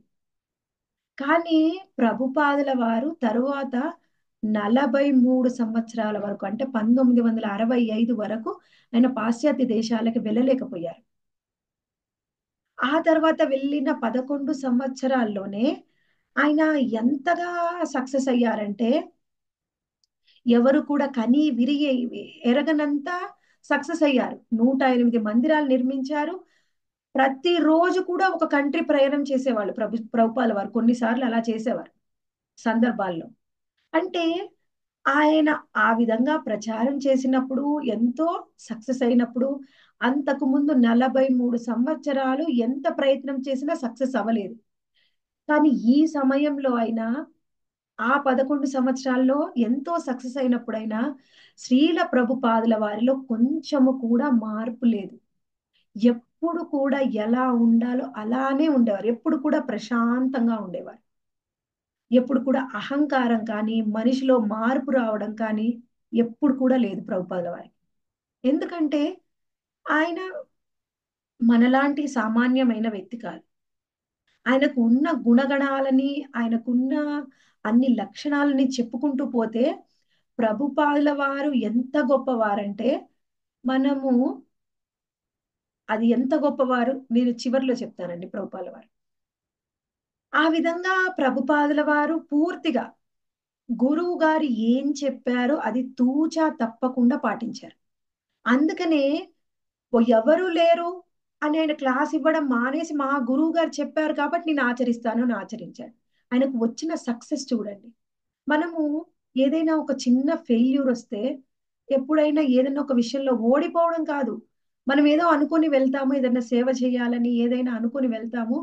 కానీ అక్కడ మనకి విజయం అనేది కనిపించదు. మనం వెళ్ళిన కాసేపటికి ఏదైనా కొంచెం ఎవరైనా విమర్శించినా ఏదైనా కొంచెం చిన్న ఇబ్బందికర పరిస్థితులు వచ్చినా వెంటనే ఏం చేస్తామంటే అమ్మో ఇది మన వల్ల కాదులే. ఇది మనకి ఇప్పుడు చేత కాదులే. ఇంకొన్ని రోజులు ఆగి చేద్దాం. ఇంకొన్ని రోజులు ఆగి చేద్దాం. మనకి ఇప్పుడు కాదు నేను ఇంకొక రెండేళ్ళు ఆగి మా పిల్లలు పెద్దగయ్యాక చేస్తాను. ఇలా ఒక్కొక్కరి యొక్క ఆలోచనలు ఒక్కొక్క విధంగా. మనము వెనకడుగు వేయడానికి ఎన్ని కారణాలు ఉంటాయా అని వెతుక్కుంటాం. కానీ ప్రభుపాదుల వారు ఎన్ని అపజయాలు ఎన్ని విమర్శలు ఎటువంటి పరిస్థితుల్లో కూడా ఎలా నేను ఎలా ఎలా ప్రచారం చేయాలి? కృష్ణ భక్తిని ఎలా ప్రచారం చేయాలి? అదే ఆయన మనసులో. ఇరవై నాలుగు గంటలు అదే ఆలోచించేవారు అనమాట అది తప్ప ఇంకొక ఆలోచనలు. నేను ఎలా మహాప్రభువు చెప్పింది నేను ఎలా కృష్ణ భక్తిని ప్రచారం చేయాలి. మా గురు మహారాజ్ ఆజ్ఞని ఎలా పాటించాలి? అది తప్ప వేరే ఆలోచన లేదు. ఎవరికైతే అంత గురుభక్తి ఉంటుందో వాళ్ళల్లో ఎన్ని గుణాలు ఉంటాయంటే మనం ఎప్పుడు కూడా చెప్పుకుంటాం. శ్రీల ప్రభు స్వయంగా శ్రీకృష్ణ భగవానుడిలో ఉండేటువంటి గుణాలు ఆయన భక్తుల్లో కూడా ఉంటాయి. అటువంటి ఎన్నో గుణాల కలబోత మన శ్రీల ప్రభుపాదుల వారు. ఎన్నో గుణాలు ఉంటాయి. అలా పరిస్థితుల్ని పట్టించుకోకుండా ఎటువంటి పరిస్థితుల్లో అయినా నేను ముందుకు వెళ్ళాలి. నేను సేవలో ముందుకు వెళ్ళాలి అని. అని అది మనము ఆ ప్రభుపాదుల వారిలో ఎప్పుడు కూడా చూడవచ్చు. ఆ తరువాత ఆయన యొక్క కరుణా స్వభావం. ఎంత కరుణ అంటే ప్రభుపాదుల వారి యొక్క కరుణ? మనము ఇంత కరుణ అని చెప్పలేము. అది ఎంతగా ఆయన కరుణ అంటే ప్రభుపాదుల వారు ఎంతో మంది శిష్యులకి దీక్ష ఇచ్చారు కొంతమంది శిష్యులకు సన్యాస దీక్ష కూడా ఇచ్చారు. అలా ప్రభుపాల వారు సన్యాస దీక్ష ఇచ్చిన తరువాత ఒక శిష్యుడు ఏం చేశాడంటే సన్యాస దీక్ష తీసుకొని ఆ తర్వాత అది వదిలేసి ఒక గర్ల్ ఫ్రెండ్ని తీసుకొని మనకు మందిరానికి వస్తాడనమాట. మందిరానికి వస్తే మనమైతే ఎలా ఆలోచిస్తారు? మామూలుగా ఇన్ జనరల్గా ఇండియన్స్ అయితే నేను ఇంత గొప్ప భక్తుడిగా ఉండి ఇప్పుడు ఇలా పతనమయ్యి సన్యాసిగా ఉండి పతనమయ్యి ఒక గర్ల్ ఫ్రెండ్ తీసుకొని మందిరానికి వెళ్తే ఎలా ఉంటుంది? అని వెళ్ళరు. కానీ ఆ పాశ్చాత్య దేశస్తులకి అవన్నీ ఉండవు అనమాట వాళ్ళు మనసులో ఏదనుకుంటే అది చేసేస్తారు. వెళ్ళాడు గర్ల్ ఫ్రెండ్ తీసుకొని వెళ్ళాడు. ప్రభుపాదుల వారి పక్కనే కూర్చున్నాడు. ప్రభుపాదుల వారు చూశారు నువ్వు నేను సన్యాస దీక్ష ఇచ్చిన శిష్యుడివి కదా నువ్వు? అంటే అవును ప్రభుపాద్. మరి ఏంటి? డ్రెస్ ఏంటి? ఇలా ఇలా ఎందుకు వేసుకున్నావు? ఎందుకు ఇలా జుట్టు పెంచుకున్నావు? ప్రభుపాల్ వారు అంటారు నాకు అది సూట్ కాదు ప్రభుపాద్ అది that is not my cup of tea అంటే అది నాకు ఆ సంబంధించింది కాదు. అందుకని నేను అందుకని నేను నాకు ఫ్రీగా ఉండే బట్టల్ని వేసుకున్నాను. మరి ఈవిడ ఎవరు? ఈ మాతాజీ ఎవరు అంటే ఈవిడ మాతాజీయే కానీ మాతాజీ అందరికి నాకు మాతాజీ కాదు నాకు గర్ల్ ఫ్రెండ్. గర్ల్ ఫ్రెండ్ని తీసుకొని ప్రభుపాల వారి దగ్గరికి వస్తాడనమాట ప్రభుపాల వారు ఏం చేస్తారంటే తర్వాత సరే అని ఆయనకి ఆయన గర్ల్ ఫ్రెండ్కి వివాహం కూడా జరిపిస్తారు. అలా ఎన్నో సార్లు ప్రభుపాల వారి శిష్యులు కొంతమంది దీక్ష తీసుకొని సన్యాస దీక్ష తీసుకున్న తర్వాత మళ్ళీ గృహస్థగా మారడం గృహస్థగా మారి మళ్ళీ సన్యాసిగా మారడము దీక్ష తీసుకొని నియమాలు పాటించకుండా ఉండడము ఎంతో మంది అలా శిష్యులు చేస్తున్నారు అనమాట కానీ ప్రతి ఒక్కరి మీద కూడా ప్రభుపాదుల వారి యొక్క కరుణ ఎంత ఉండేదంటే ఆయన కరుణ ఎప్పుడు కూడా ఎవరి మీద కూడా కొంచెం కూడా తగ్గేది కాదనమాట. అప్పుడు ఆయన శిష్యుడు అడిగాడు ఒక శిష్యుడు ప్రభుపాదుని ప్రభుపాద్ ఎవరైనా సరే తప్పు చేస్తే మీరు ఎన్నిసార్లు క్షమిస్తారు? అంటే ప్రభుపాల వారు అంటారు నేనా? తప్పు చేస్తే నేను క్షమిస్తాను. సరే ఒకసారి చేస్తే మీరు తప్పుని క్షమిస్తారు రెండోసారి చేస్తే కూడా క్షమిస్తారా? రెండోసారి చేస్తే కూడా క్షమిస్తాను. మరి మూడోసారి చేస్తే ప్రభుపాద్ అప్పుడేం చేస్తారు? ప్రభుపాల్ వారు కామన్గా అంటారు కదా? ఏ రాస్కెల్ మూడోసారి కూడా తప్పు చేస్తే ఏం చేస్తాను నేను? క్షమిస్తాను. అలా ఆయన అడుగుతూనే ఉంటాడు అనమాట అప్పుడు ఏమంటారంటే ప్రభుపాల వారు నేను ఎవరిని నేను నిత్యానంద మహాప్రభు యొక్క ప్రతినిధిని మా నిత్యానంద ప్రభువుకి ఎంత కరుణ అంటే ఆయన ఆయన మనసులో అనంతమైన కరుణ ఉంది నిత్యానంద ప్రభులో. అటువంటి నిత్యానంద ప్రభువు యొక్క ప్రతినిధిని అయినప్పుడు నాలో ఎంత కరుణ ఉండాలి? అప్పుడు కొంతమంది అడుగుతారనమాట ఎలా అంటే ఆ చైతన్య మహాప్రభు స్వయంగా చోటా హరిదాస్ ఠాకూర్ అని ఆయన దగ్గర ఒక శిష్యుడు ఉండేవాడు. ఆ చోటా హరిదాస్ ఠాకూర్ ఎప్పుడు కూడా ఆ మహాప్రభు పక్కనే ఉండి ఆయనకి సేవలు చేస్తూ ఉండేవాడు. ఒకరోజు ఏం జరిగిందంటే ఆయన మధ్యాహ్నం ప్రసాదానికని ఒక భక్తురాలు ఇంటి దగ్గరికి వెళ్తారు. ఆమె చాలా వృద్ధురాలు. ఆవిడ ఇంట్లో ఒక పని మనిషి ఉంటుంది. ఆ పని మనిషితోని పరాచికంగా ఒక మాట మాట్లాడతాడు. ఏదో ఒక పరాచికమైన మాటలు అంతే ఆ విధంగా పరాచికంగా నువ్వు ఒక స్త్రీతో మాట్లాడతావా అని చెప్పి మహాప్రభు ఆయన్ని పూర్తిగా శిష్యుడిగా రిజెక్ట్ చేశారు. ఇంకా ఆయన ఎప్పటి దగ్గరికి రానివ్వలేదు. ఆ తర్వాత ఆయన ఆత్మహత్య చేసుకొని మళ్ళీ తిరిగి ఆత్మ రూపంలో మహాప్రభుకి సేవ చేశారు. అటువంటి మహాప్రభువు ఆ శిష్యులు కదా మీరు? ఆయన యొక్క భక్తులు మరి మీరు నన్ను క్షమిస్తారా అని అని అడుగుతారనమాట మహాప్రభువు చాలా గొప్పవారు. నేను ఆయన యొక్క ప్రతినిధిని. నాకు మహాప్రభు ఎంత గొప్ప శక్తి సామర్థ్యాలు లేవు. నేను కేవలం కరుణ చూపించడం మాత్రమే నాకు తెలుసు. కేవలం కరుణ చూపించడం. అది తప్ప ఇంకా వేరే ఏం తెలియదు. నేను నిత్యానంద ప్రభు యొక్క ప్రతినిధిని. ఆయనలో ఉన్న కరుణ అనేది నేను అదే కరుణని చూపిస్తాను. ఎంత కరుణ అంటే మనకి ఆచార్యులు చెప్తూ ఉంటారనమాట హరిలో ఉండే గొప్పతనం కంటే హరినామం ఎంతో గొప్పది. హరినామము కంటే హరినామాన్ని ఇచ్చినటువంటి హరినామం ఇచ్చిన వాడి యొక్క గొప్పతనం ఇంకా ఎక్కువ. హరినామం ఇచ్చింది ఎవరండి మనకి? హరే కృష్ణ. చైతన్య మహాప్రభు. చైతన్య మహాప్రభు. కానీ మనకి చెప్పింది ఎవరు? ప్రభుపాదు. ప్రభుపాదుల వారు. ఆచార్యులు మనకి చెప్పారు. ఎవరైతే హరి నామాన్ని ఇస్తారో వాళ్ళు హరినామం కంటే గొప్పవాళ్ళు. హరినామము హరి కంటే గొప్పది. అంటే చూడండి భక్తులు ఎప్పుడు కూడా భగవంతుడి కంటే ఎక్కువ కరుణ. శ్రీకృష్ణ భగవాను కూడా తన యొక్క బిడ్డలందరి మీద కరుణ ఉంటుంది. కానీ భక్తుల యొక్క కరుణ ఇంకా ఎక్కువ. కృష్ణ భగవానుడు మనం చేసిన తప్పుల్ని కూడా ఎంచుతాడు. అది ఆయన చెయ్యాలి కదా. అందరినీ సమానంగా చూడాలి. వాళ్ళ యొక్క కర్మానుసారం వాళ్ళకి ఇవ్వాల్సిన ఇవ్వాలి. అందుకని ప్రభు కృష్- శ్రీకృష్ణ భగవానుడు మన తప్పొప్పుల్ని కూడా చూస్తాడు. కానీ గురువు ఎప్పుడు కూడా మన తప్పొప్పుల్ని చూడడు. ఎప్పుడు కరుణ కరుణ కరుణ కరుణ అంతే. అయితే మనం అనుకోవచ్చు అలా ఎన్నిసార్లు తప్పులు చేసినా మరి గురువు క్షమించినట్లయితే తప్పు చేస్తూ ఉంటారు కొంతమంది తప్పులు చేయరు ఎన్నిసార్లైనా క్షమిస్తారా? గురువు ఎన్నిసార్లైనా శిష్యుడు చేసే తప్పుల్ని క్షమిస్తాడు. కానీ కృష్ణుడు క్షమించడు. నా శిష్యుడు ఎంత కష్టపడి నీకు అన్ని చెప్తూ ఉంటే ఎంతో బోధిస్తూ ఉంటే నీ కోసం అంత కష్టపడుతూ ఉంటే నువ్వు తప్పులు చేస్తూ గురువు ఆజ్ఞని ఉల్లంఘిస్తూ నీకు ఇష్టమైనట్టు ప్రవర్తిస్తావా అని కృష్ణుడికి మన మీద కోపం వస్తుంది. మనము గురువుని మోసం చేస్తే కృష్ణుడు మనని మోసం చేస్తాడు. అందుకని గురువులకి కరుణ ఎంత ఉంటుందంటే కృష్ణుడి కంటే ఎక్కువ. అపారమైన కరుణ మనకి శ్రీల ప్రభుపాదుల వారిని ప్రభుపాదుల వారు ఆ ప్రతి భక్తుడిని కూడా ఎంత బాగా ఎంకరేజ్ చేసేవాడు అనమాట ఎవరైనా ఏమన్నా తప్పు చేశారనుకోండి వాళ్ళ సేవలో ఆ సేవని కూడా అయ్యో నేను ఇలా చేశానని వాళ్ళు బాధపడుతూ ఉంటే పక్క నుంచి ఎంకరేజ్ చేసేవాడు అప్పట్లో మనకి మనం పెయింటింగ్స్ చూస్తే అన్ని బుక్స్లో ఆ మందిరాల్లో పెయింటింగ్స్ అందరు కూడా భక్తులే వేసేవారు ఒకసారి ఒక భక్తుడు పెయింటింగ్ వేశాడు. అందులో ఏమిటంటే శ్రీకృష్ణ భగవానుడు మరియు నాలుగు గుర్రాలు ఆయన రథం మీద పట్టుకొని వెళ్తూ ఉన్నట్టుగా. ఆ పెయింటింగ్లో ఏముందంటే చూడడానికి ఎలా ఉందంటే గుర్రాలు ఎంతో అందంగా ఉన్నాయంట. శ్రీకృష్ణ భగవానుడు అంత అందంగా లేరు. అది చూసి అందరు అనుకుంటున్నారు ప్రభుపాల వారు చూడ ప్రభుపాల వారు కూడా చూడకుండా చూడగానే అన్నారనమాట నీ నీ గుర్రాలు ఎంత అందంగా ఉన్నాయంటే కృష్ణుడి కంటే అంత అందంగా ఉన్నాయే అనగానే అవును ప్రభుపాది ఇలా జరిగిపోయింది నేను ప్రయత్నించాను కానీ ఇది ఇలా వచ్చింది అని ఆయన బాధపడుతూ ఉంటే ప్రభుపాల వారు ఎంకరేజ్ చేయడం కోసము అందులో తప్పేం లేదే చాలా బాగా వేశావు నువ్వు. ఎందుకంటే ఈ గుర్రాలు కృష్ణుడి యొక్క భక్తులు.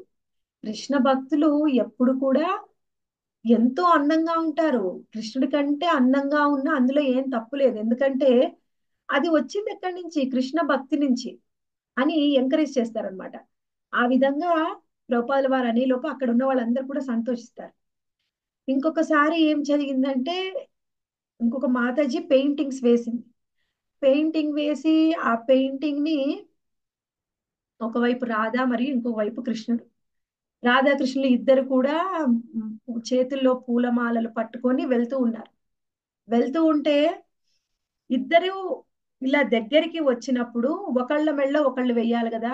అది ఎంతో కొంచెం తేడా వచ్చింది. అయితే రాధారాణి పక్కనే ఉన్న కృష్ణుడు పక్కనే ఉన్న వాళ్ళలో మెళ్ళ వేస్తున్నట్టుగా అది కనిపిస్తుంది అనమాట అది చూసిన వాళ్ళందరూ కూడా ఇది కొంచెం తేడా వచ్చిందని అర్థమవుతుంది. అప్పుడు కృష్ణుడు అన్నాడు ఆ రాధారాణి కృష్ణుడికి కాకుండా ఇంకెవరికి మెళ్ళ వేస్తుంది?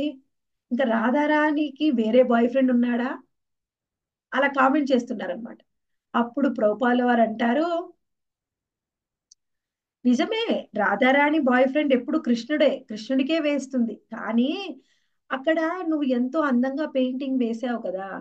పక్కనే నువ్వున్నావు నిన్ను అప్రిషియేట్ చేయడం కోసం రాధారాణి ఆ మాల నీ మెళ్ళో వేస్తుంది అన్నారనమాట ప్రభుపాల వారి యొక్క అదేంటంటే స్పాంటేనియస్గా ఆ విధంగా ఆయన జోక్స్ వేస్తూ ఉంటారు ప్రభుపాల వారు. ఎంకరేజ్ చేస్తూ ఉంటారు జోక్స్లోనే ఆ శిష్యుల్ని ఎంకరేజ్ చేస్తారు. అవసరం అయితే వాళ్ళని క్రిటిసైజ్ కూడా చేస్తారు. ఏ విధమైన అయినా ఆయనకి ఎన్నో శక్తి సామర్థ్యాలు ఉన్నాయన్నమాట. ఒకసారి ఏం జరుగుతుందంటే జాదురాణి మాతాజీ పెయింటింగ్ వేస్తుంది. వేయగానే ప్రభుపాల వారు అక్కడ గోడకు తగిలించమంటారు. అప్పుడు ఆమె ఏం చేస్తుందంటే ప్రభుపాల వారు కూర్చునే ప్లేస్ అనమాట ఎప్పుడక్కడ ఆయన కూర్చొని కిందనే ఆ లెక్చర్ ఇస్తూ ఉండేవారు. ఆమె ఎక్కడంటే అక్కడ ఏం లేదని ప్రభుపాలు వారు కూర్చునే ఆసనం మీదనే కాలు పెట్టి ఆ పెయింటింగ్ అక్కడ తగిలిస్తుంది. అప్పుడు అక్కడ ఉన్న సీనియర్ డివోటీస్ చూసి ఆమెకి చెప్తారనమాట మీరు ప్రభుపాల వారు కూర్చునే ప్లేస్ మీద అలా కాలుతో టచ్ చేయకూడదు అది చాలా తప్పు. ఆమెకి అర్థం అవుతుంది నేను తప్పు చేశాను అని వెళ్ళి ప్రభుపాల వారి దగ్గరికి వెళ్ళి క్షమించమని అడుగుతుంది. అప్పుడు ప్రభుపాల వారు ఏమంటారంటే నువ్వు కృష్ణ సేవ చేయడం కోసం నువ్వే కాదు ఎవరైనా సరే నా స్థానంలో కాలు పెట్టం కాదు నా తల మీద కాలు పెట్టినా కానీ నాకు ఓకే. నువ్వు కృష్ణ సేవ చేస్తా అంటే ఏం చేసినా కానీ నాకు అందులో దోషం కనిపించదు. అని ఆ చెప్పేలోపు అందరి శిష్యులకి రూపాల వారికి ఎంత ఎంత ప్రాణం ఆయనకి ఆ ప్రచారం అంటే అని అందరూ కూడా సంతోషిస్తారనమాట ఇంకొక శిష్యుడు ఏం చేశాడంటే స్వయంగా ఒక కృష్ణ మందిరాన్ని ఒక శిష్యుడి చేతిలో పెట్టి ప్రభుపాల వారు ఎక్కువగా ఒక మందిరం స్థాపించడము ఎవరైనా భక్తుల చేతిలో పెట్టడము ఆయన వెళ్ళడము ఇంకొక ప్లేస్లో ప్రచారం చేయడం అక్కడ ఇంకో కృష్ణ మందిరం కట్టడం.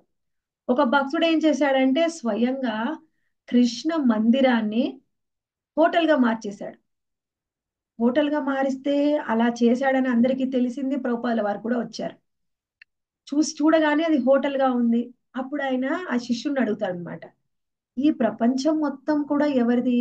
అంటే ప్రభుపాది మొత్తం కూడా కృష్ణుడిది. మరి ఈ దేశం ఎవరిది అంటే కృష్ణుడిది. ఈ నగరం ఎవరిది అంటే కృష్ణుడిది. ఈ నగరంలో ఉన్న ఈ హోటల్ ఎవరిది అంటే నాది అని చెప్తాడు. అన్ని కృష్ణుడివే అంట. కానీ ఆ హోటల్ మాత్రం నాది అని చెప్పాడు ఏం చెప్పాడు మాతాజీ? హరే కృష్ణ. అన్ని కృష్ణుడివే హోటల్ మాత్రం నాది హోటల్ మాత్రం నాది అంటాడు. అంటే ఆయనకి ఎట్టి పరిస్థితుల్లో కూడా ఆ హోటల్ ఇచ్చేయడం ఆ మందిరం ఇచ్చేయడం ఇష్టం లేదు. సరే అయితే మరి నువ్వు పదహారు మాలలు చేస్తున్నావా? చేస్తున్నాను ప్రభుపా నేను పదహారు మాలలు ఎప్పుడు కూడా మానేయలేదు. మరి నాలుగు నియమాలు పాటిస్తున్నావా? పాటిస్తున్నాను. సరే అయితే ఈ మందిరము నువ్వే తీసుకో అని చెప్పి ప్రభుపాల వారు వచ్చేస్తారు. అదేంటి ప్రభుపాద అలా మందిరాన్ని వదిలేశారు? మరి నేనేం చేయను ఇంకా? కనీసం ఆయన పదహారు మాలలు చేస్తున్నాడు నాలుగు నియమాలు పాటిస్తున్నాడు. చాలు కదా? అని శిష్యుణ్ణి అందరు అంటారనమాట శిష్యులు. మనం కోర్టుకి వెళ్దాము అది మనకే తిరిగి వస్తుంది. రూపాల వారు తన శిష్యుడికి అగనిస్ట్గా కోర్టుకు వెళ్ళడం కూడా ఆయనకి ఇష్టం లేదు. ఇష్టం లేక సరే అని. నువ్వు కనీసం పదహారు మాలలు చేస్తున్నావు నాలుగు నియమాలు పాటిస్తున్నావు కదా? మందిరం నువ్వే ఉంచుకో అని చెప్పి ఆయన అక్కడి నుంచి వచ్చేస్తారు. అలా ఒక్కొక్కళ్ళ శిష్యుడు ఒక్కొక్క విధంగా చేస్తున్నారు. కానీ ప్రతి ఒక్కళ్ళ మీద కూడా కరుణే. ఇంకొక భక్తులు ఏం చేస్తారంటే ఒకసారి ప్రభుపాదుల వారు మందిరానికి వెళ్తారు. మందిరానికి వెళ్ళినప్పుడు ఆయన దండవత్ ప్రణామం చేస్తారు. దండవత్ ప్రణామం చెయ్యక ముందు అక్కడ ఎవరు ఉంటారంటే రాధాకృష్ణ ఉంటారు. రాధాకృష్ణలకు ఆయన దండం పెట్టుకొని ఆయన లేవగానే రాధాకృష్ణ యొక్క స్థానంలో గౌర్నితాయి ఉంటారు. అదేమిటి నేను సరిగ్గా చూడలేదా ఏమిటి? ఇది గౌర్నితాయి ఉన్నారేమిటి అని మళ్ళీ దండవత్ లేసి చేసుకొని లేసే లోపల అక్కడ రాధాకృష్ణ ఉంటారు. ఇదేమిటి మీరు ఇలా ఆల్టరే మారిపోతుంది ఏమిటి ఇక్కడ? అంటే శిష్యులు చెప్తూ ఉన్నారనమాట ప్రభుపాద్ మేము ఇంతకు ముందు పబ్బుకి వెళ్ళాం కదా ఆ పబ్బులో ఎలా ఉండేదంటే ఇలా మనకు కావాల్సినవి రొటేట్ చేసుకోవచ్చు అన్నమాట ఇటు తిప్పితే ఒకటి ఉంటుంది అటు తిప్పితే ఒకటి ఉంటుంది. అది తీసుకొచ్చి ఇక్కడ పెట్టాము ఎందుకంటే మన మందిరంలో ఎక్కువగా ప్రదేశం లేదు. అందుకని మేము గౌర్నితాయిని రాధాకృష్ణని ఈ విధంగా పూజిస్తున్నాం అంటే ప్రభుపాల వారు చెప్తారనమాట ఆల్టర్ ఎప్పుడు కూడా అలా స్థానం మారకూడదు. ఆల్టర్ అంటే దేవుడి విగ్రహాలు ఎలా ఉంటాయి ఎప్పుడు కూడా అలానే ఉండాలి. అలా మారకూడదు అని చెప్తారనమాట ఎటువంటి శిష్యులు ఎలా ప్రవర్తించినా కానీ వాళ్ళ మీద కరుణనే. ఇంతకు ముందు కూడా నేను చెప్పాను. ఆ ఒక శిష్యుడు ఏం చేస్తాడంటే ప్రభుపాదుల వారి ఉన్నప్పుడు ఎంతో మంచి భక్తుడు దీక్ష తీసుకుంటాడు. ప్రభుపాదుల వారితోనే ఉండి సేవ కూడా చేస్తాడు. తర్వాత ప్రభుపాల వారు వేరే ప్రదేశం వెళ్ళినప్పుడు ఆయన భక్తిలో కొంత పతనం చెంది మళ్ళీ సాధారణమైన జీవితంలోకి వస్తాడు. ప్రభుపాదుల వారు మళ్ళీ తిరిగి వచ్చారని చెప్పి తెలుసుకొని ఆయన వస్తారనమాట వచ్చి చెప్తాడు అక్కడ ఉన్న శిష్యుడికి నేను పలానా వచ్చాను వ్యక్తిని అని నా పేరు చెప్పండి వెళ్ళి. సరే అయితే? నువ్వెవరో చెప్తే ప్రభుపాదుల వారు నిన్ను కలుస్తారా? మీరు వెళ్ళి చెప్పండి ఫస్ట్. వెళ్ళి శిష్యుడు చెప్తాడు. పలానా వ్యక్తి వచ్చాడండి. ఆయన హిప్పీ లాగా ఉన్నాడు. ఆ మొత్తం జుట్టు పెంచుకొని ఉన్నాడు. ఆయన అసలు సరిగ్గా లేడు. మీరు కలవాలనుకుంటున్నారా? ఆయన అడుగుతున్నాడు మిమ్మల్ని. అవునా? వచ్చాడా? అయితే లోపలికి పంపించండి. ప్రభుపాదుల వారు అక్కడ గదిలో కూర్చొని ఉంటారు. ఆ వచ్చిన వ్యక్తి వెంటనే ఆ గదిలోకి వెళ్ళగానే ఆయన ఎలా అంటే చిన్న పిల్లవాడు నాలుగు కాళ్ళ మీద ఎలా నడుస్తాడో అలా నడుచుకుంటూ వెళ్ళి ప్రభుపాల వారి చైర్లో అలా కూర్చుంటారనమాట కూర్చోగానే ప్రభుపాల వారి ఒళ్ళో ఆయన తల పెడతారు. తల పెట్టి ఇంకా పెట్టగానే ప్రభుపాల వారు ఆయన యొక్క చేతితోని ఆయన శిష్యుడిని తలని నిమురుతూ ఉంటారు. ఇక్కడ ఈ శిష్యుడు ఏడుస్తూ ఉంటాడు ప్రభుపాల వారు కూడా ఏడుస్తూ ఉంటారు. పదిహేను నిమిషాలు పాటు ఇద్దరు కూడా ఏడవడమే తప్ప ఒక్క మాట కూడా మాట్లాడలేదు. ప్రభుపాల వారి కన్నీళ్ళతోనే ఆ శిష్యుడిని తడిపేస్తున్నాడు. ఆ శిష్యుడు తన కన్నీళ్ళతోనే ప్రభుపాల వారిని తడిపేస్తూ ఉన్నాడు అలా పదిహేను నిమిషాలు అయిపోయిన తర్వాత తర్వాత కూడా ఏం మాట్లాడలేదు. ఆ వ్యక్తి ఎలా వచ్చాడో నాలుగు కాళ్ళ మీద అలానే బయటికి వెళ్ళిపోతాడు. వెళ్ళిపోయి తెల్లారి ఉదయము తన యొక్క రూపురేఖలన్నీ మార్చేసి వైష్ణవుల్లాగా మొత్తము గుండు కొట్టి శిఖ పెట్టుకున్నాడు. కంటి మాల చాంటింగ్ మాల మొత్తం పన్నెండు ప్లేసుల్లో మనకు బాడీ అంతా అలంకరించుకున్నాడు నామంతోని ధోతి కుర్తా వేసుకొని ధోతి వేసుకొని వచ్చేసాడు అంటే హండ్రెడ్ పర్సెంట్ ప్రభుపాదుల వారి ఒక్క కాసేపు అసోసియేషన్ తోని ఒక మాట కూడా లేదు. మళ్ళీ ఇంతకు ముందు ఉన్న హిప్పి లాగా ఉన్న వ్యక్తి మళ్ళీ శుద్ధ భక్తుల్లాగా మారిపోయి మళ్ళీ ప్రభుపాల వారికి సేవలు చేశాడు. అంటే ప్రభుపాల వారికి ఎటువంటి శిష్యుడి పైన సరైనా ఎంత కరుణా స్వభావం ఎంత కరుణా స్వభావం అంటే నేను వచ్చింది ఇలాంటి వాళ్ళని ఉద్ధరించడానికి కోసమే నేను వచ్చాను నేను వచ్చిందే వాళ్ళని ఉద్ధరించడం కోసం. వాళ్ళ మీద కోపం తెచ్చుకొని వచ్చే లాభం ఏమిటి? అందరూ ఉండే ఇప్పుడు అలా కోపం తెచ్చుకుంటే అందరూ అలాంటి వాళ్ళే.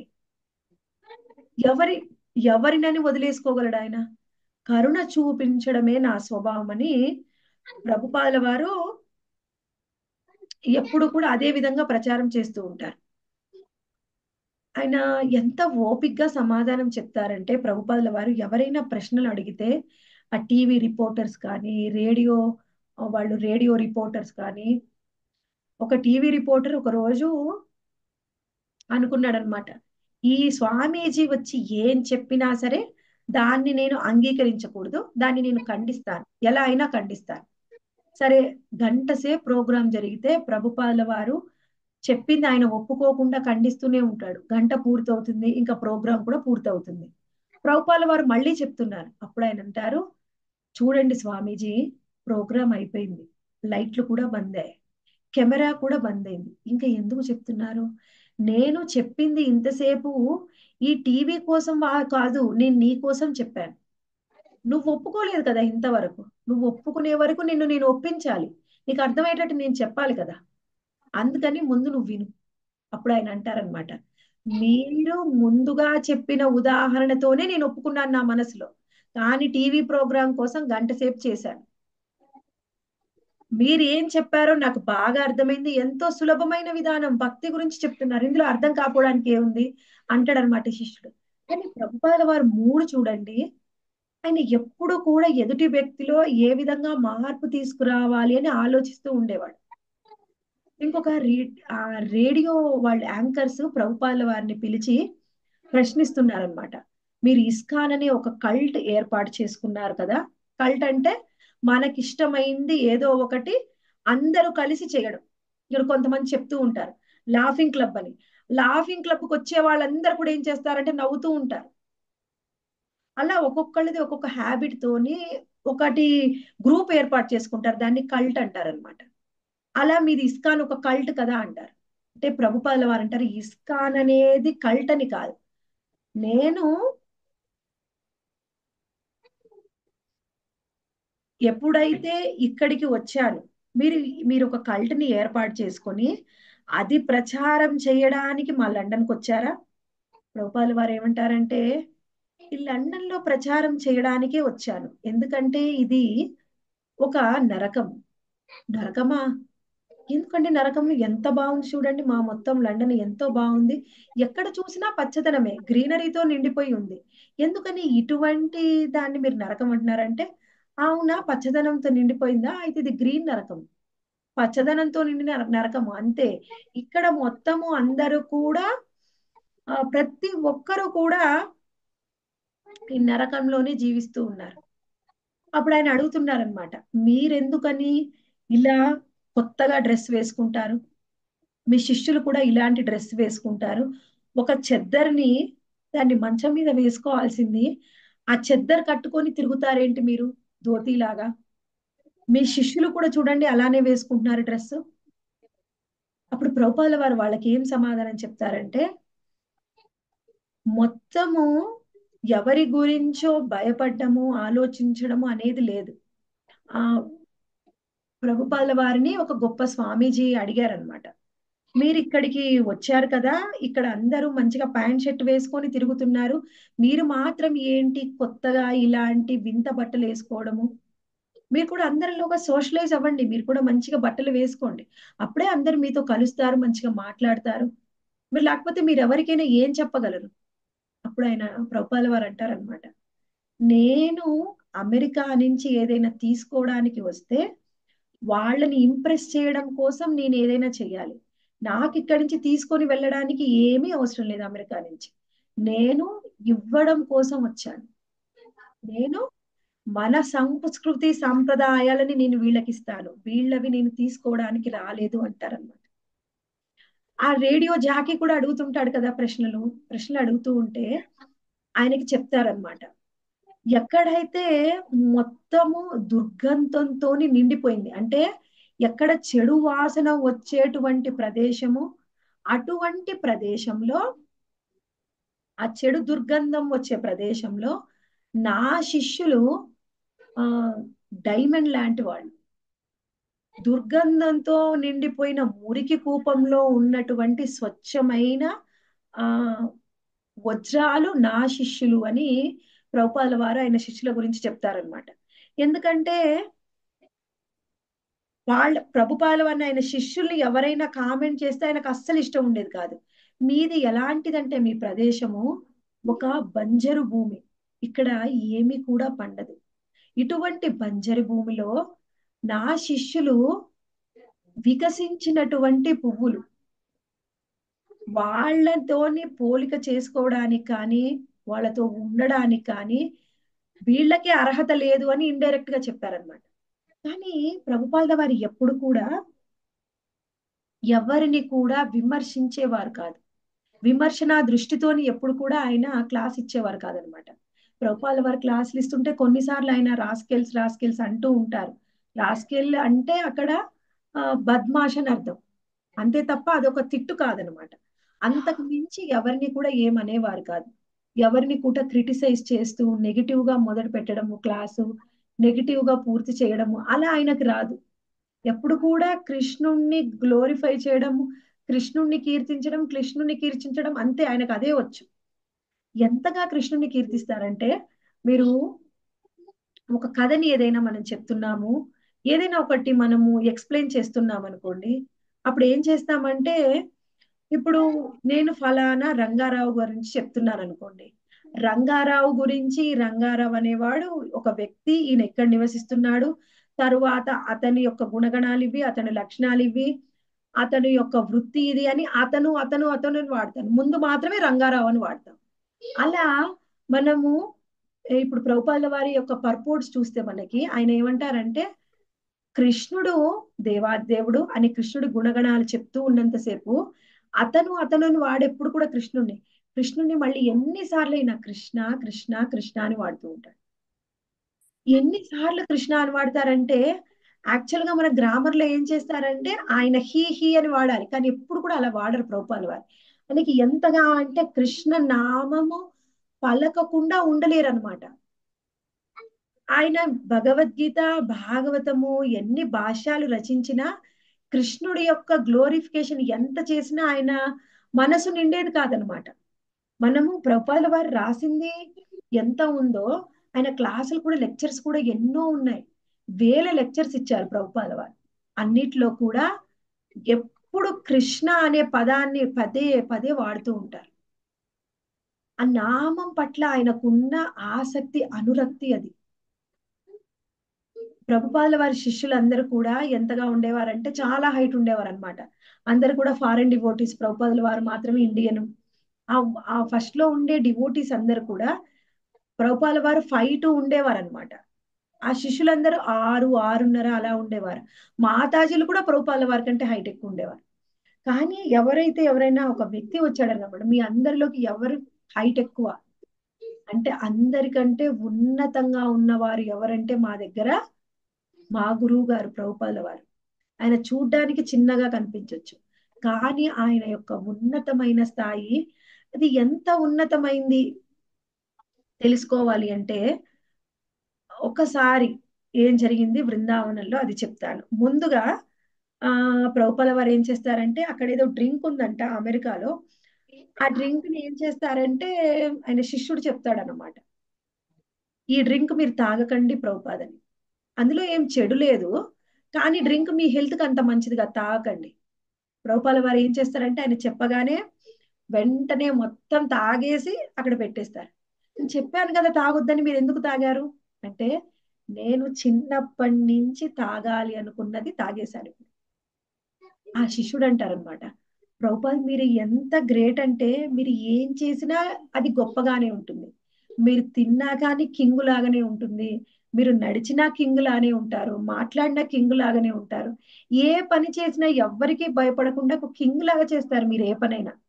అంటే ప్రభుపాల వారు నవ్వి I'm not a king I'm a king maker అంటారనమాట అంటే నేను కింగ్ని రాజుని కాదు నేను రాజుల్లే తయారు చేసేవాడిని అంటారనమాట ఆ పదానికి కూడా అది అది చెప్పినప్పుడు కూడా శిష్యులు ఎంతగా సంతోషిస్తారంటే అసలు ప్రభుపాదుల వారు చాలా ఉన్నతమైన వ్యక్తి. ఆయన చాలా స్పెషల్. నిజమే ఆయన king maker.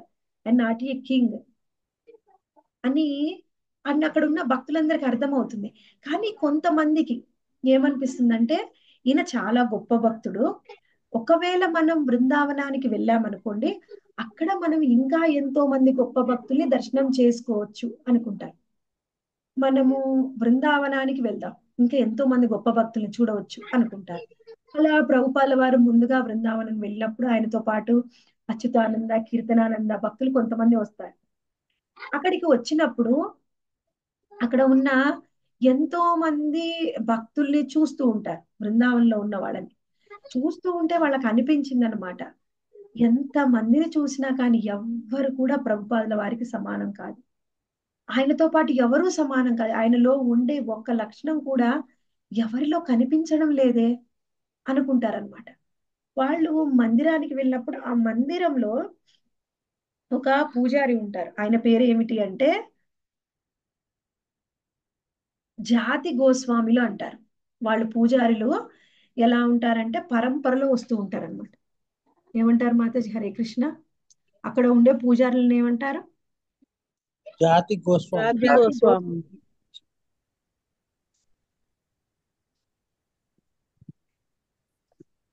మనము జాతి గోస్వాములు అంటే ఎలా అర్థం చేసుకోవాలి అంటే ఇప్పుడు మనము కొన్నిసార్లు చూస్తూ ఉంటాం. వంశ పారంపర్యంగా వాళ్ళ వంశంలో వచ్చిన వాళ్ళందరూ కూడా పూజారులుగా ఉంటారన్నమాట. ఇప్పుడు ఆయన ఉన్నాడు ఆయన యొక్క పుత్రుడు వచ్చాడు ఆయన ఆ మందిరానికి పూజారి అవుతాడు ఆ పూజారి తర్వాత వచ్చే పూజ ఆ కొడుకు ఆయన కొడుకు కూడా మందిరానికి పూజారి అవుతారు అలా జాతి గోస్వాములు ఉన్నారనమాట ఒక మందిరానికి వెళ్ళారు. కీర్తనానంద ప్రభు మరియు అచ్యుతానంద ప్రభు. వీళ్ళిద్దరూ వెళ్ళి అక్కడ చూస్తున్నారనమాట ఆయన అడుగుతాడు మీరందరికంటే ఎక్కువగా ఎవరిని ఇష్టపడతారు? అంటే వాళ్ళు చెప్తున్నారు వాళ్ళ ప్రభుపాల వారి పేరు. ఆయన చెప్తున్నాడు నేను ఎక్కువగా ఈ విగ్రహాలనే ఇష్టపడతాను. ఇదే ఉన్నతమైందని. అప్పుడు ప్రభుపాదుల వారు చెప్తారనమాట అలాంటి జాతి గోస్వాముల గురించి. వీళ్ళందరూ కేవలం వంశపారంపర్యంగా వచ్చే వాళ్ళే తప్పించి వీళ్ళలో ఏ విధమైన ఆసక్తి కానీ ప్రేమ కానీ భగవంతుడి పట్ల ఉండవు. ఒక ఒక వృత్తిలాగా దాన్ని భావిస్తూ ఉంటారనమాట మా గురు మహారాజ్ భక్తి సిద్ధాంత్ సరస్వతి ఠాకూర్లు ఏం చెప్పారంటే వాళ్ళకి ఎంతగా కృష్ణుడి మీద ఆ అర్చా విగ్రహాల మీద ప్రేమ ఉంటుంది అంటే అక్కడ ఉన్న సాలిగ్రామ్ శిలని తీసుకొని బాదం పప్పుని దంచి ఆ బాదం పప్పుని తింటారు వాళ్ళు. అంటే వాళ్ళకి విగ్రహాల మీద ఉండే ప్రేమ ఎంతగా ఉంటుంది అని చెప్తున్నారు అనమాట గోస్వామి అని పేరు పెట్టుకోగానే వాళ్ళు గోస్వాములు అయిపోరు అలా ఎంతో మందిని బృందావనంలో వీళ్ళు చూశారనమాట అప్పుడు ప్రభుపాల వారిని వాళ్ళ శిష్యులు అడుగుతారు ప్రభుపాది ఇక్కడ చూస్తూ ఉంటే మీరు ఒక్కళ్ళు మాత్రమే శుద్ధ భక్తులు అనిపిస్తుంది. ఎవరిని చూసినా మాకు అలా అనిపించడం లేదు.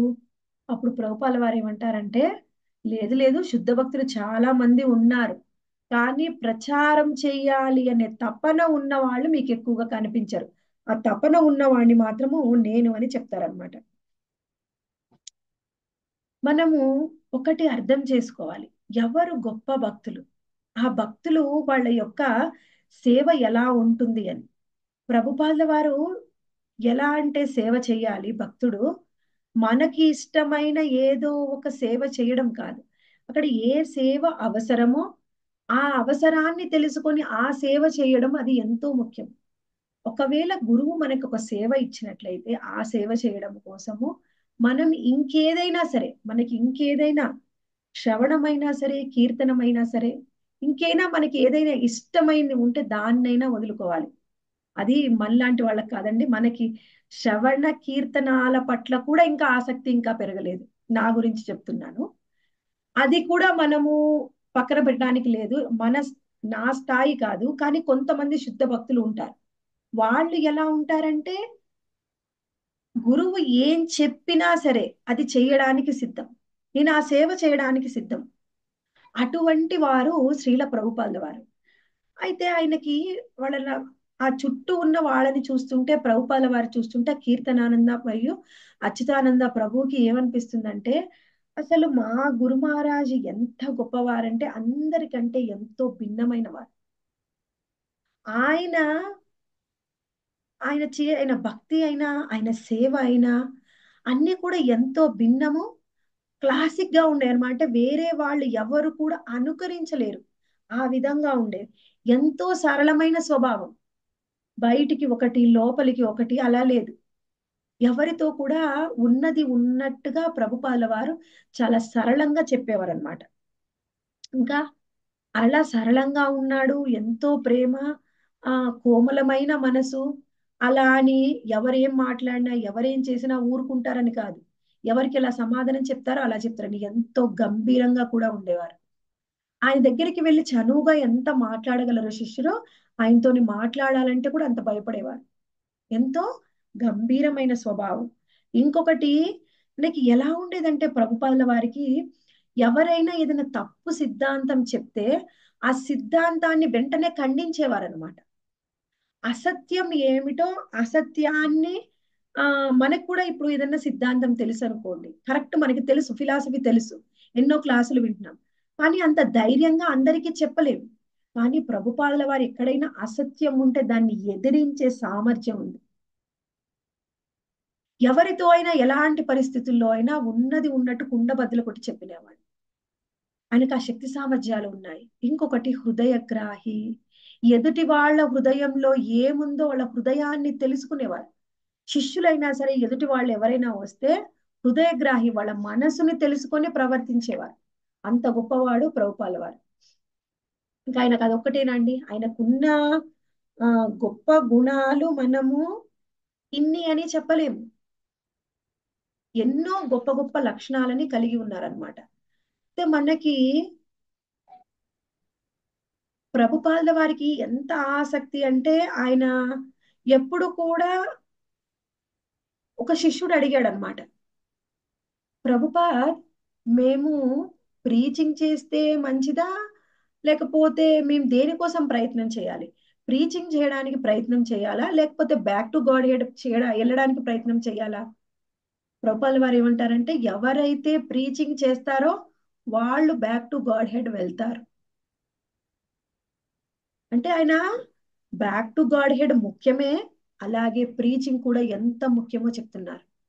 అలా ఆయన ఏదైనా ఒక ప్రశ్న వేస్తే దానికి ఖచ్చితమైన ఆన్సర్ని ఇచ్చేవారనమాట డౌట్ఫుల్గా నేను మళ్ళీ తెలుసుకుంటాను మళ్ళీ ఆలోచిస్తాను నేను ఆలోచించి చెప్తాను. ఈ విషయం చాలా కఠినంగా ఉంది. కొంచెం ఆలోచించి మళ్ళీ చెప్తాను. కృష్ణుడిని అడిగి చెప్తాను. ఏం లేదు. అప్పటికప్పుడే ఖచ్చితమైన ఆన్సర్ ఇచ్చేవారు ఎవరికైనా సరే. ఒక ఒక వ్యక్తి వచ్చాడంట. ఆయన ఎవరు అంటే ఒక గొప్ప ఆ తత్వవేత్త. అంటే ఆయన ఎవరు? ఒక ఆస్ట్రాలజర్. ఆస్ట్రాలజర్ కూడా కాదండి అది ఖగోళ శాస్త్రజ్ఞుడు అనమాట ఆయన ఒక పిహెచ్డి చేశాడు ఒక టీచర్ ఒక ఆయన ఏం చేశాడంటే ప్రభుపాదుల వారి దగ్గరికి వచ్చాడు. ఆయన ప్రశ్నలు వేసే క్రమంలో ఆయన రాగానే చెప్తున్నాడు నేనెవరిని నేను ఏ విధంగా పరిశోధన చేస్తున్నాడు ఆ దాని వల్ల ఏం పొందుతుంది? అని ఆయన అంత చెప్పగానే ప్రభుపాదుల వారు ఒకటే ఒక చిన్న ప్రశ్న వేస్తాడు అనమాట ఇంత చెప్పావు కదా ఇంత సృష్టి గురించి చెప్పావు విశ్వం గురించి చెప్పావు కదా దీని వల్ల ఏం ఉపయోగం ఉంది ఒకటే చిన్న ప్రశ్న. దీని వల్ల ఏం ఉపయోగం? ఆయన వెంటనే స్టన్ అయిపోయి దీని వల్ల ఏం ఉపయోగం? ఆయనకి ఏం తెలుసు చెప్పడానికి? ఆలోచిస్తాడు. ఆలోచిస్తాడు ఆలోచిస్తాడు. వెంటనే ప్రభుపాల వారు ఒక చిన్న పిల్లవాడిలాగా గట్టి గట్టిగా నవ్వేస్తారనమాట ప్రభుపాల వారు నవ్వుతున్నారని అక్కడ ఉన్న శిష్యులు కూడా పైన ఉంటారు. వాళ్ళందరూ కూడా చూసి అందరూ నవ్వేస్తారు. ఆయనకు మాత్రం ఆశ్చర్యం వేస్తుంది. ఇలాంటి ప్రశ్న ఆయన ఏం గంభీరంగా లేడు అలా అని ఒక మాట ఏం అనలేదు ఆయన్ని. గట్టిగా మాట్లాడలేదు. కానీ ఏం చేశాడు? ఆయన ఎంతో గొప్ప తెలివితేటలు ఉన్నాయి శక్తి సామర్థ్యాలు ఉన్నాయి అని అన్ని చెప్పుకున్నాడు. వెంటనే ఏనుగు కుంభస్థలం మీద కొట్టినట్టు ఆయన మెయిన్ ఫిలాసఫీ మీద కొట్టేశాడు. నువ్వు ఇంత చెప్పావు కదా దానివల్ల ఏమిటి ప్రయోజనం మనకు ఆన్సర్ తెలియదు. నిజమే కదా ఏమిటి తెలియదు? ప్రభుపాల వారు ఎలా ఉంటుందంటే కఠినంగా మాట్లాడరు విమర్శించరు. కానీ ఆయన చిన్న ప్రశ్న వేస్తే ఎదుటి వాళ్ళది ఆన్సర్ చెప్పలేరు. అక్కడ మనకి వాళ్ళకి సరైన సమాధానం చెప్తారు. వాళ్ళ మనసుని కూడా నొప్పించారు. అంత తెలివితేటలున్నారన్నమాట ఆ మనం ఎక్కువగా కొంతమంది స్వామీజీలు చూస్తే వాళ్ళు చాలా సీరియస్గా ఉంటారు. ఆ సీరియస్గా మాట్లాడుతూ ఉంటారు. ఎవరికి దగ్గరికి రానివ్వరు. అలా ఎక్కువగా చూస్తూ ఉంటారు కానీ ప్రభుపాల వారు అలా కాదు. ఎవరు వచ్చినా దగ్గరికి ఎవరితో అయినా మాట్లాడడానికి సిద్ధంగా ఉండేవారు. ఎంతో ఓపిక్గా సమాధానం చెప్పేవారు. మామూలుగా చూసే స్వామీజీల కంటే కూడా ఎంతో సరళమైన మృదు స్వభావం అనమాట అదే గుణగణాలు మా గురు మహారాజు కూడా వచ్చాయి. మనకి ఇస్కాన్లో ఉన్నటువంటి ఎంతో మంది గురువులు కూడా ప్రభుపాద వారి లాగానే ఎంతో సరళమైన స్వభావం ఎంతో ప్రేమగా అందరితో మాట్లాడతారు. మేము ఒక గొప్ప గురువులమని ఎప్పుడు కూడా ఆ డాంబికాన్ని ప్రదర్శించారనమాట అలానే ప్రభుపాదుల వారు కూడా అలానే ప్రతి ఒక్కరితో కూడా ఎంతో మంచిగా ప్రేమగా మాట్లాడుతూ ఉండేవారు. మనము ప్రభుపాల వారిలో ఉండే గుణాలని చూస్తే ప్రతి ఒక్కళ్ళని మనము ఇందాకనే చెప్పుకున్నాం. ఎలా ఆయనకి ఎంత కరుణా స్వభావం ఉండేదంటే ఆయన కరుణతోని ప్రతి ఒక్కళ్ళని కూడా క్షమించేవాడు. క్షమించే గుణంతో పాటు ప్రభుపాల వారు ఎలా ఉంటారంటే ఎవరిని నిందించకుండా మనసు నొప్పించకుండా మాట్లాడతారు. అదొక్కటే కాకుండా ఎంతో అందంగా కీర్తన చేస్తారు.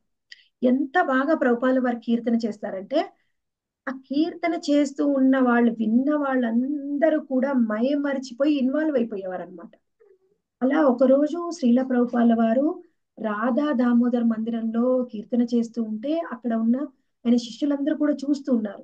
ప్రభుపాల వారు మంచిగా ఎక్కువగా గొప్ప గొప్ప రాగాలని సంగీతాలని ఏం పాడరండి. జనరల్గా సింపుల్గా హరే కృష్ణ మహామంత్రాన్ని జపిస్తూ ఉన్నారు. ఆయన హరే కృష్ణ మహామంత్రం జపిస్తూ ఉంటే ఆయన ఫేస్ పూర్తిగా ప్రభుపాదుల వారి ఫేస్లో ఎన్నో రంగులు మారిపోతూ ఉన్నాయంట. కాసేపు గోల్డెన్ కలర్లోకి మారుతున్నారంట. కాసేపు ఎర్ర రంగులోకి మారుతున్నారంట. కాసేపు పింక్ కలర్లోకి మారుతున్నారంట. అందరూ చూసి ఆశ్చర్యపోతున్నారు. ఎలా ఎలా మారిపోతుంది ప్రభుపాదుల వారి ఫేస్ అని. అంటే ఎంత డీప్గా ఇన్వాల్వ్ అయ్యి కృష్ణ ప్రేమ అన్న కృష్ణుడు అంటే ఎంతో ప్రేమ ఆయనకి. ఆయన భక్తి పారవశ్యంలో కీర్తన చేస్తూ ఉంటే వాళ్ళ పారవశ్యానికి తగ్గట్టుగా వాళ్ళ ప్రభుపాదుల వారి ముఖ కవళికలు మారడము ఆ రంగులు మారడం అనేది ఆయన మనసులో ఉండే ఆ ఆయన మనసుకి ప్రతీక అనమాట ఆయన ఏ భావంలో పాడుతున్నారో ఆ భావానికి తగ్గట్టుగా ఆయన ముఖంలో రంగులు మారుతూ ఉన్నాయి. అంత గొప్పగా ప్రభుపాల వారి కీర్తన చేసేవారు అనమాట ఎవరైనా సరే ప్రభుపాల వారి కీర్తన విన్నారు అంటే ఇంకా వాళ్ళు భక్తులు అవ్వాల్సిందే. అంత గొప్పగా ప్రభుపాల వారి కీర్తన చేస్తారు. కీర్తన అనేది చేసే వాళ్ళ యొక్క గొప్పగా చేస్తున్నారా వాళ్ళకి ఎంత బాగా సంగీతం వచ్చు వాళ్ళు గొప్పగా గమకాలు పాడుతున్నారా వినడానికి ఎంత బాగుంది? అది కాదండి. వాళ్ళు ఎంత ఆ ఇన్వాల్వ్ అయ్యి కీర్తన చేస్తున్నారో దాన్ని బట్టి వినే వాళ్ళల్లో కూడా ఆ భావం వస్తుంది. మనకు ఆ ఇన్వాల్వ్మెంట్ లేకుండా మనం చేసామనుకోండి మనం చేసే కీర్తన ఎవరికి నువ్వు గొప్పగా పాడవచ్చు కానీ ఎవరిని ఆకర్షించదు. ఎవరైతే భక్తితోని చేస్తారో అక్కడ విన్న వాళ్ళందరిలో కూడా ఆ విధమైన ఇన్వాల్వ్మెంట్ ఉంటుంది. మనం ముఖ్యంగా ప్రభుపాల వారి యొక్క మనం ఇంకొక కొన్ని లక్షణాలను చెప్పుకొని క్లాస్ ముగిద్దాం మాతజీ. ప్రభుపాల వారిలో ఉండే ఇంకొక గొప్ప లక్షణం ఏమిటి అంటే ఆయన ఎంతో గొప్ప ఆ జ్ఞాని. ఎంత జ్ఞానం అంటే ఆయన ఒక స్కాలర్ అనమాట అంటే ఆయన జ్ఞానం అనేది ఎంత అంటే సామాన్యంగా అందరూ కంటే ఎంతో ఉన్నతమైన జ్ఞానం. వాళ్ళని స్కాలర్స్ అంటారు. మనము మీరు చూడవచ్చు మీరు భగవద్గీత యాజ్ ఇట్ ఈస్ కాకుండా భగవద్గీతని ఇంక ఎవరైనా రాసింది ఎవరైనా చూడండి. అప్పుడు మీకు తెలుస్తుంది ప్రభుపాల వారి యొక్క పుస్తకం యొక్క విలువ. మీరు ఇంతకు ముందు ఆచార్యులు కూడా ఎంతో మంది భగవద్గీతకి భాగవతానికి కామెంట్రీస్ రాశారు. అంటే కామెంటరీ అంటే ఏమిటి అంటే ఏదైనా ఒక పుస్తకం ఉందనుకోండి ఇప్పుడు భగవద్గీతకైనా భాగవతానికైనా వాళ్ళ ఆచార్యులు చెప్పింది వాళ్ళ గురువులు చెప్పింది వాళ్ళ యొక్క సెల్ఫ్ రియలైజేషన్స్ దాన్ని అక్కడ రాస్తారు. దాన్ని కామెంటరీ అంటారు. కానీ ప్రభుపాల వారు ఏం రాసేవారంటే పర్పోర్ట్ రాసేవారు అంటే దాన్ని భాష్యం రచించడం. ప్రభుపాల వారు ఏమిటి? ఆయనకు తెలిసింది ఆయన గురువులు చెప్పింది ఆయన రిలేషన్స్తో పాటుగా దాంట్లో కృష్ణుడు చెప్పింది భగవద్గీతలో కృష్ణుడు ఏం చెప్తున్నాడు భాగవతంలో ఏం చెబుతున్నారు అనేది దానిలో ఏం చెప్తున్నారు ఆ శ్లోకం మీనింగ్కి తగ్గట్టుగా రియల్ లైఫ్లో ఉండే ఎగ్జాంపుల్స్ తీసుకొచ్చి దానికి అనుసంధానం చేసి చెప్తారు. అప్పుడు ఏమవుతుంది భగవద్గీతలో ఎంత గొప్ప విషయం చెప్పినా మన జీవితంలో దాన్ని ఎలా ఆచరించాలో మనకి తెలియదు. ప్రభుపాల వారు ఏం చేస్తారంటే ప్రతి భాషల్లో కూడా ఆయన రియల్ లైఫ్ ఎగ్జాంపుల్స్ తీసుకోవడం వల్ల మనము ఎలాంటి సందర్భంలో ఎలా ఉండాలి ఎలా ఉండకూడదు ఎవరితో ఎలా ఉండాలి ఎలా ఉండకూడదు అసలు జ్ఞానం అంటే ఏమిటి భక్తి అంటే ఏమిటి మనకి బాగా అర్థమవుతుంది. అందుకని ప్రభుపాల వారి భాష్యాలు చాలా ఇంపార్టెంట్. ఎవరైతే శ్రీల ప్రభుపాల వారి పుస్తకాలు చదువుతారో ఆయన భాష్యాలని యథాతథం చదువుతారో వాళ్ళ భక్తులు చాలా త్వరగా పురోగతి చెందుతారు. ప్రతి ఒక్కళ్ళు కూడా ప్రతిరోజు కనీసం ప్రభుపాల వారి భాష్యాలు కనీసం ఎంత టైం లేకపోయినా ఒకటి కానీ రెండు శ్లోకాలకి ఖచ్చితంగా ప్రభుపాల వారి పుస్తకాలను అధ్యయనం చేయాలి. అది భగవద్గీత అయినా భాగవతం అయినా సరే.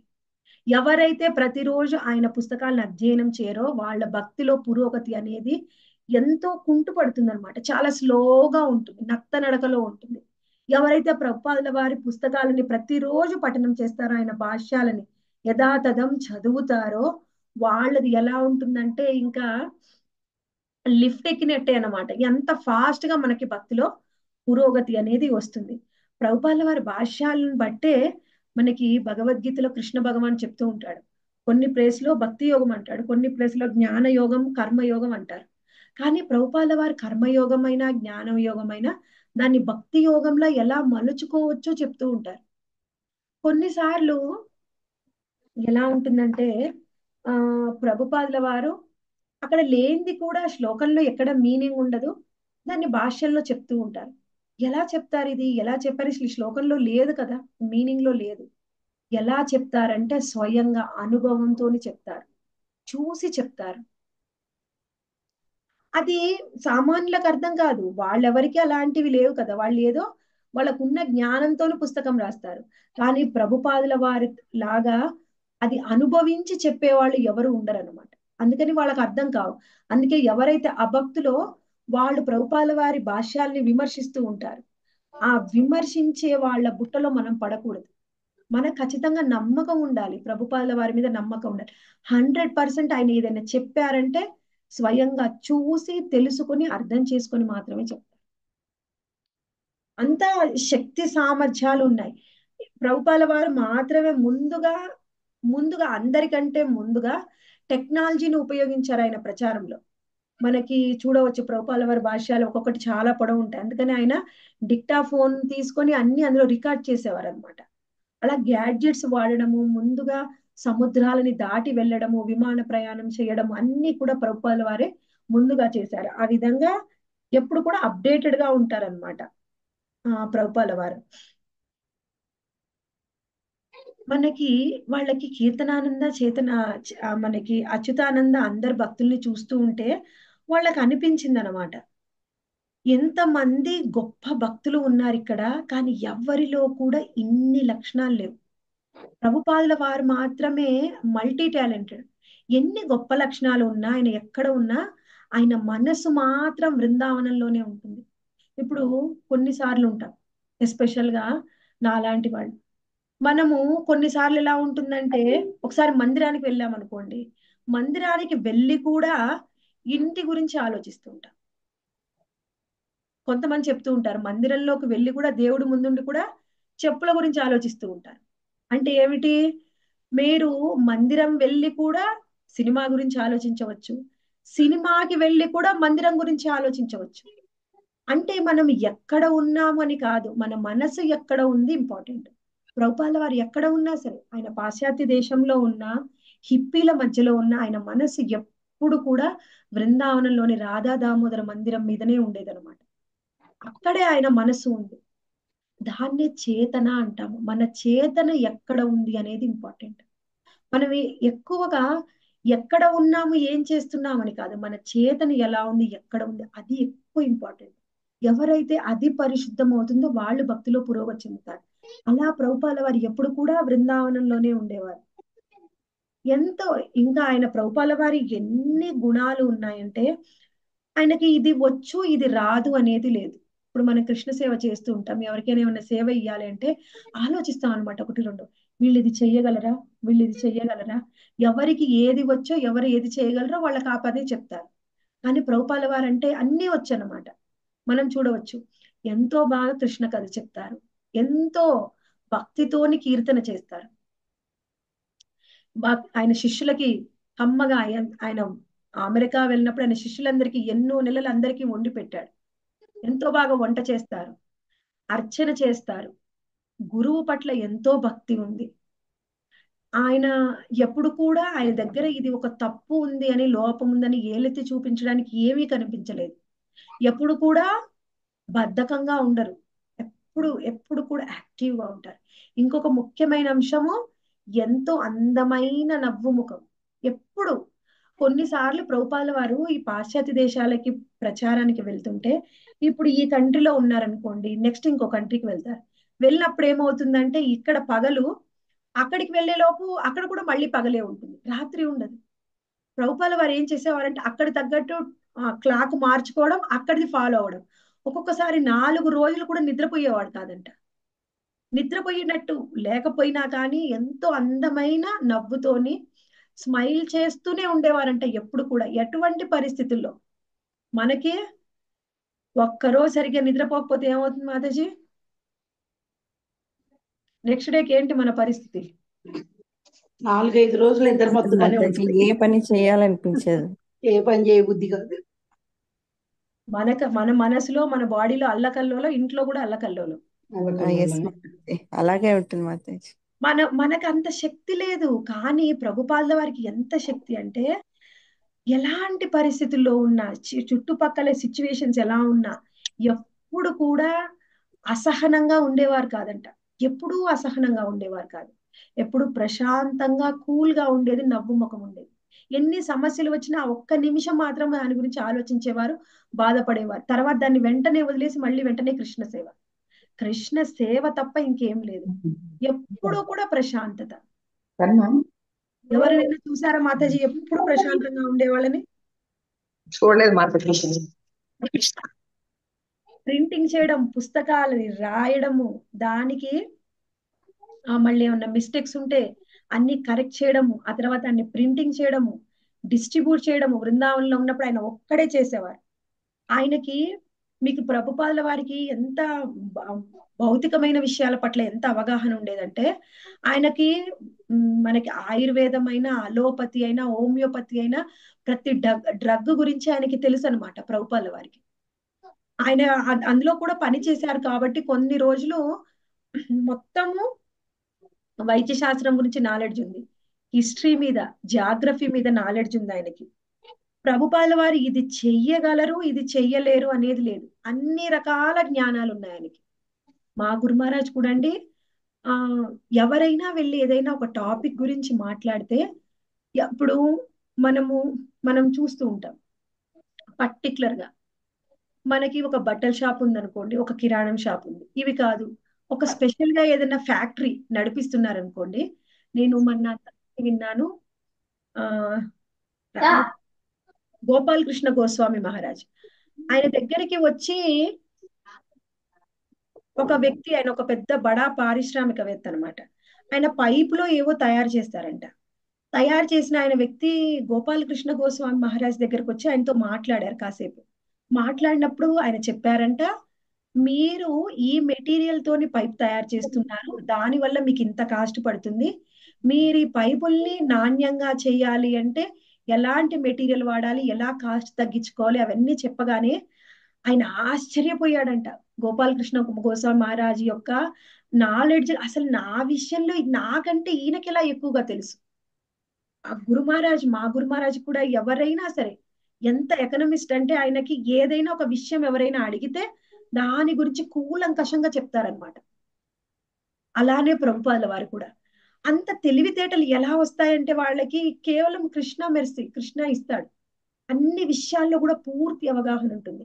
అలా గోపాలకృష్ణ గోస్వామి మహారాజ్ యొక్క జ్ఞానం చూసి ఆయన అప్పటికప్పుడు లక్ష పుస్తకాలు నేను డిస్ట్రిబ్యూట్ చేస్తానని డొనేషన్ ఇచ్చి వెళ్ళాడంట.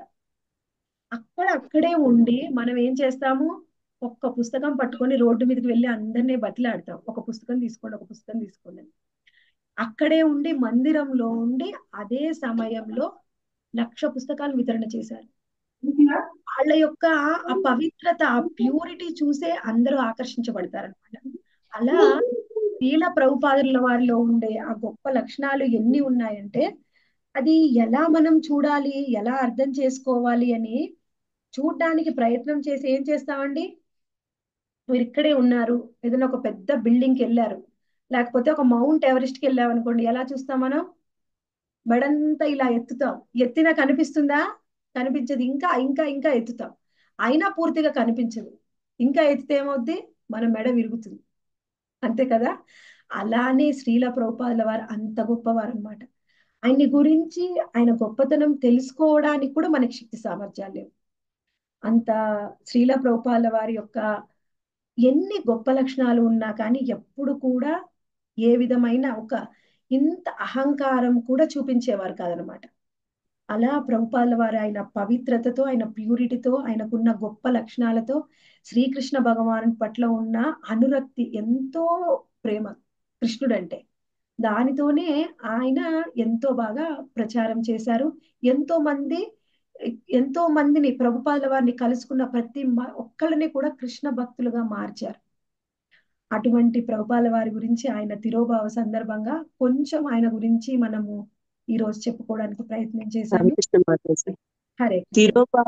అంటే కొంచెం వివరంగా చెప్తాను నాకు ప్రభుపాద వారు భగవద్ధామానికి వెళ్ళిన రోజు మాతాజీ కృష్ణ. ఇంకొకటి మాతాజీ ఇందాక మీరు చెప్పారు కదా ఒక శిష్యుల్ని క్షమిస్తారు ప్రతి శిష్యులని మరి ఒక శిష్యుల్ని క్షమి క్షమించకపోతే తను వెళ్ళి ఆత్మహత్య చేసుకున్నారు అని చెప్పారు. అది అది చేసింది చైతన్య మహాప్రభు మాతాజీ. క్షమి చైతన్య మహాప్రభు చోటా హరిదాస్ని క్షమించలేదు. కానీ ప్రభుపాల వారు ఎప్పుడు క్షమించారు ఓకే. ఇంకొకసారి వింటాను మాతాజీ. సారీ. హరే కృష్ణ.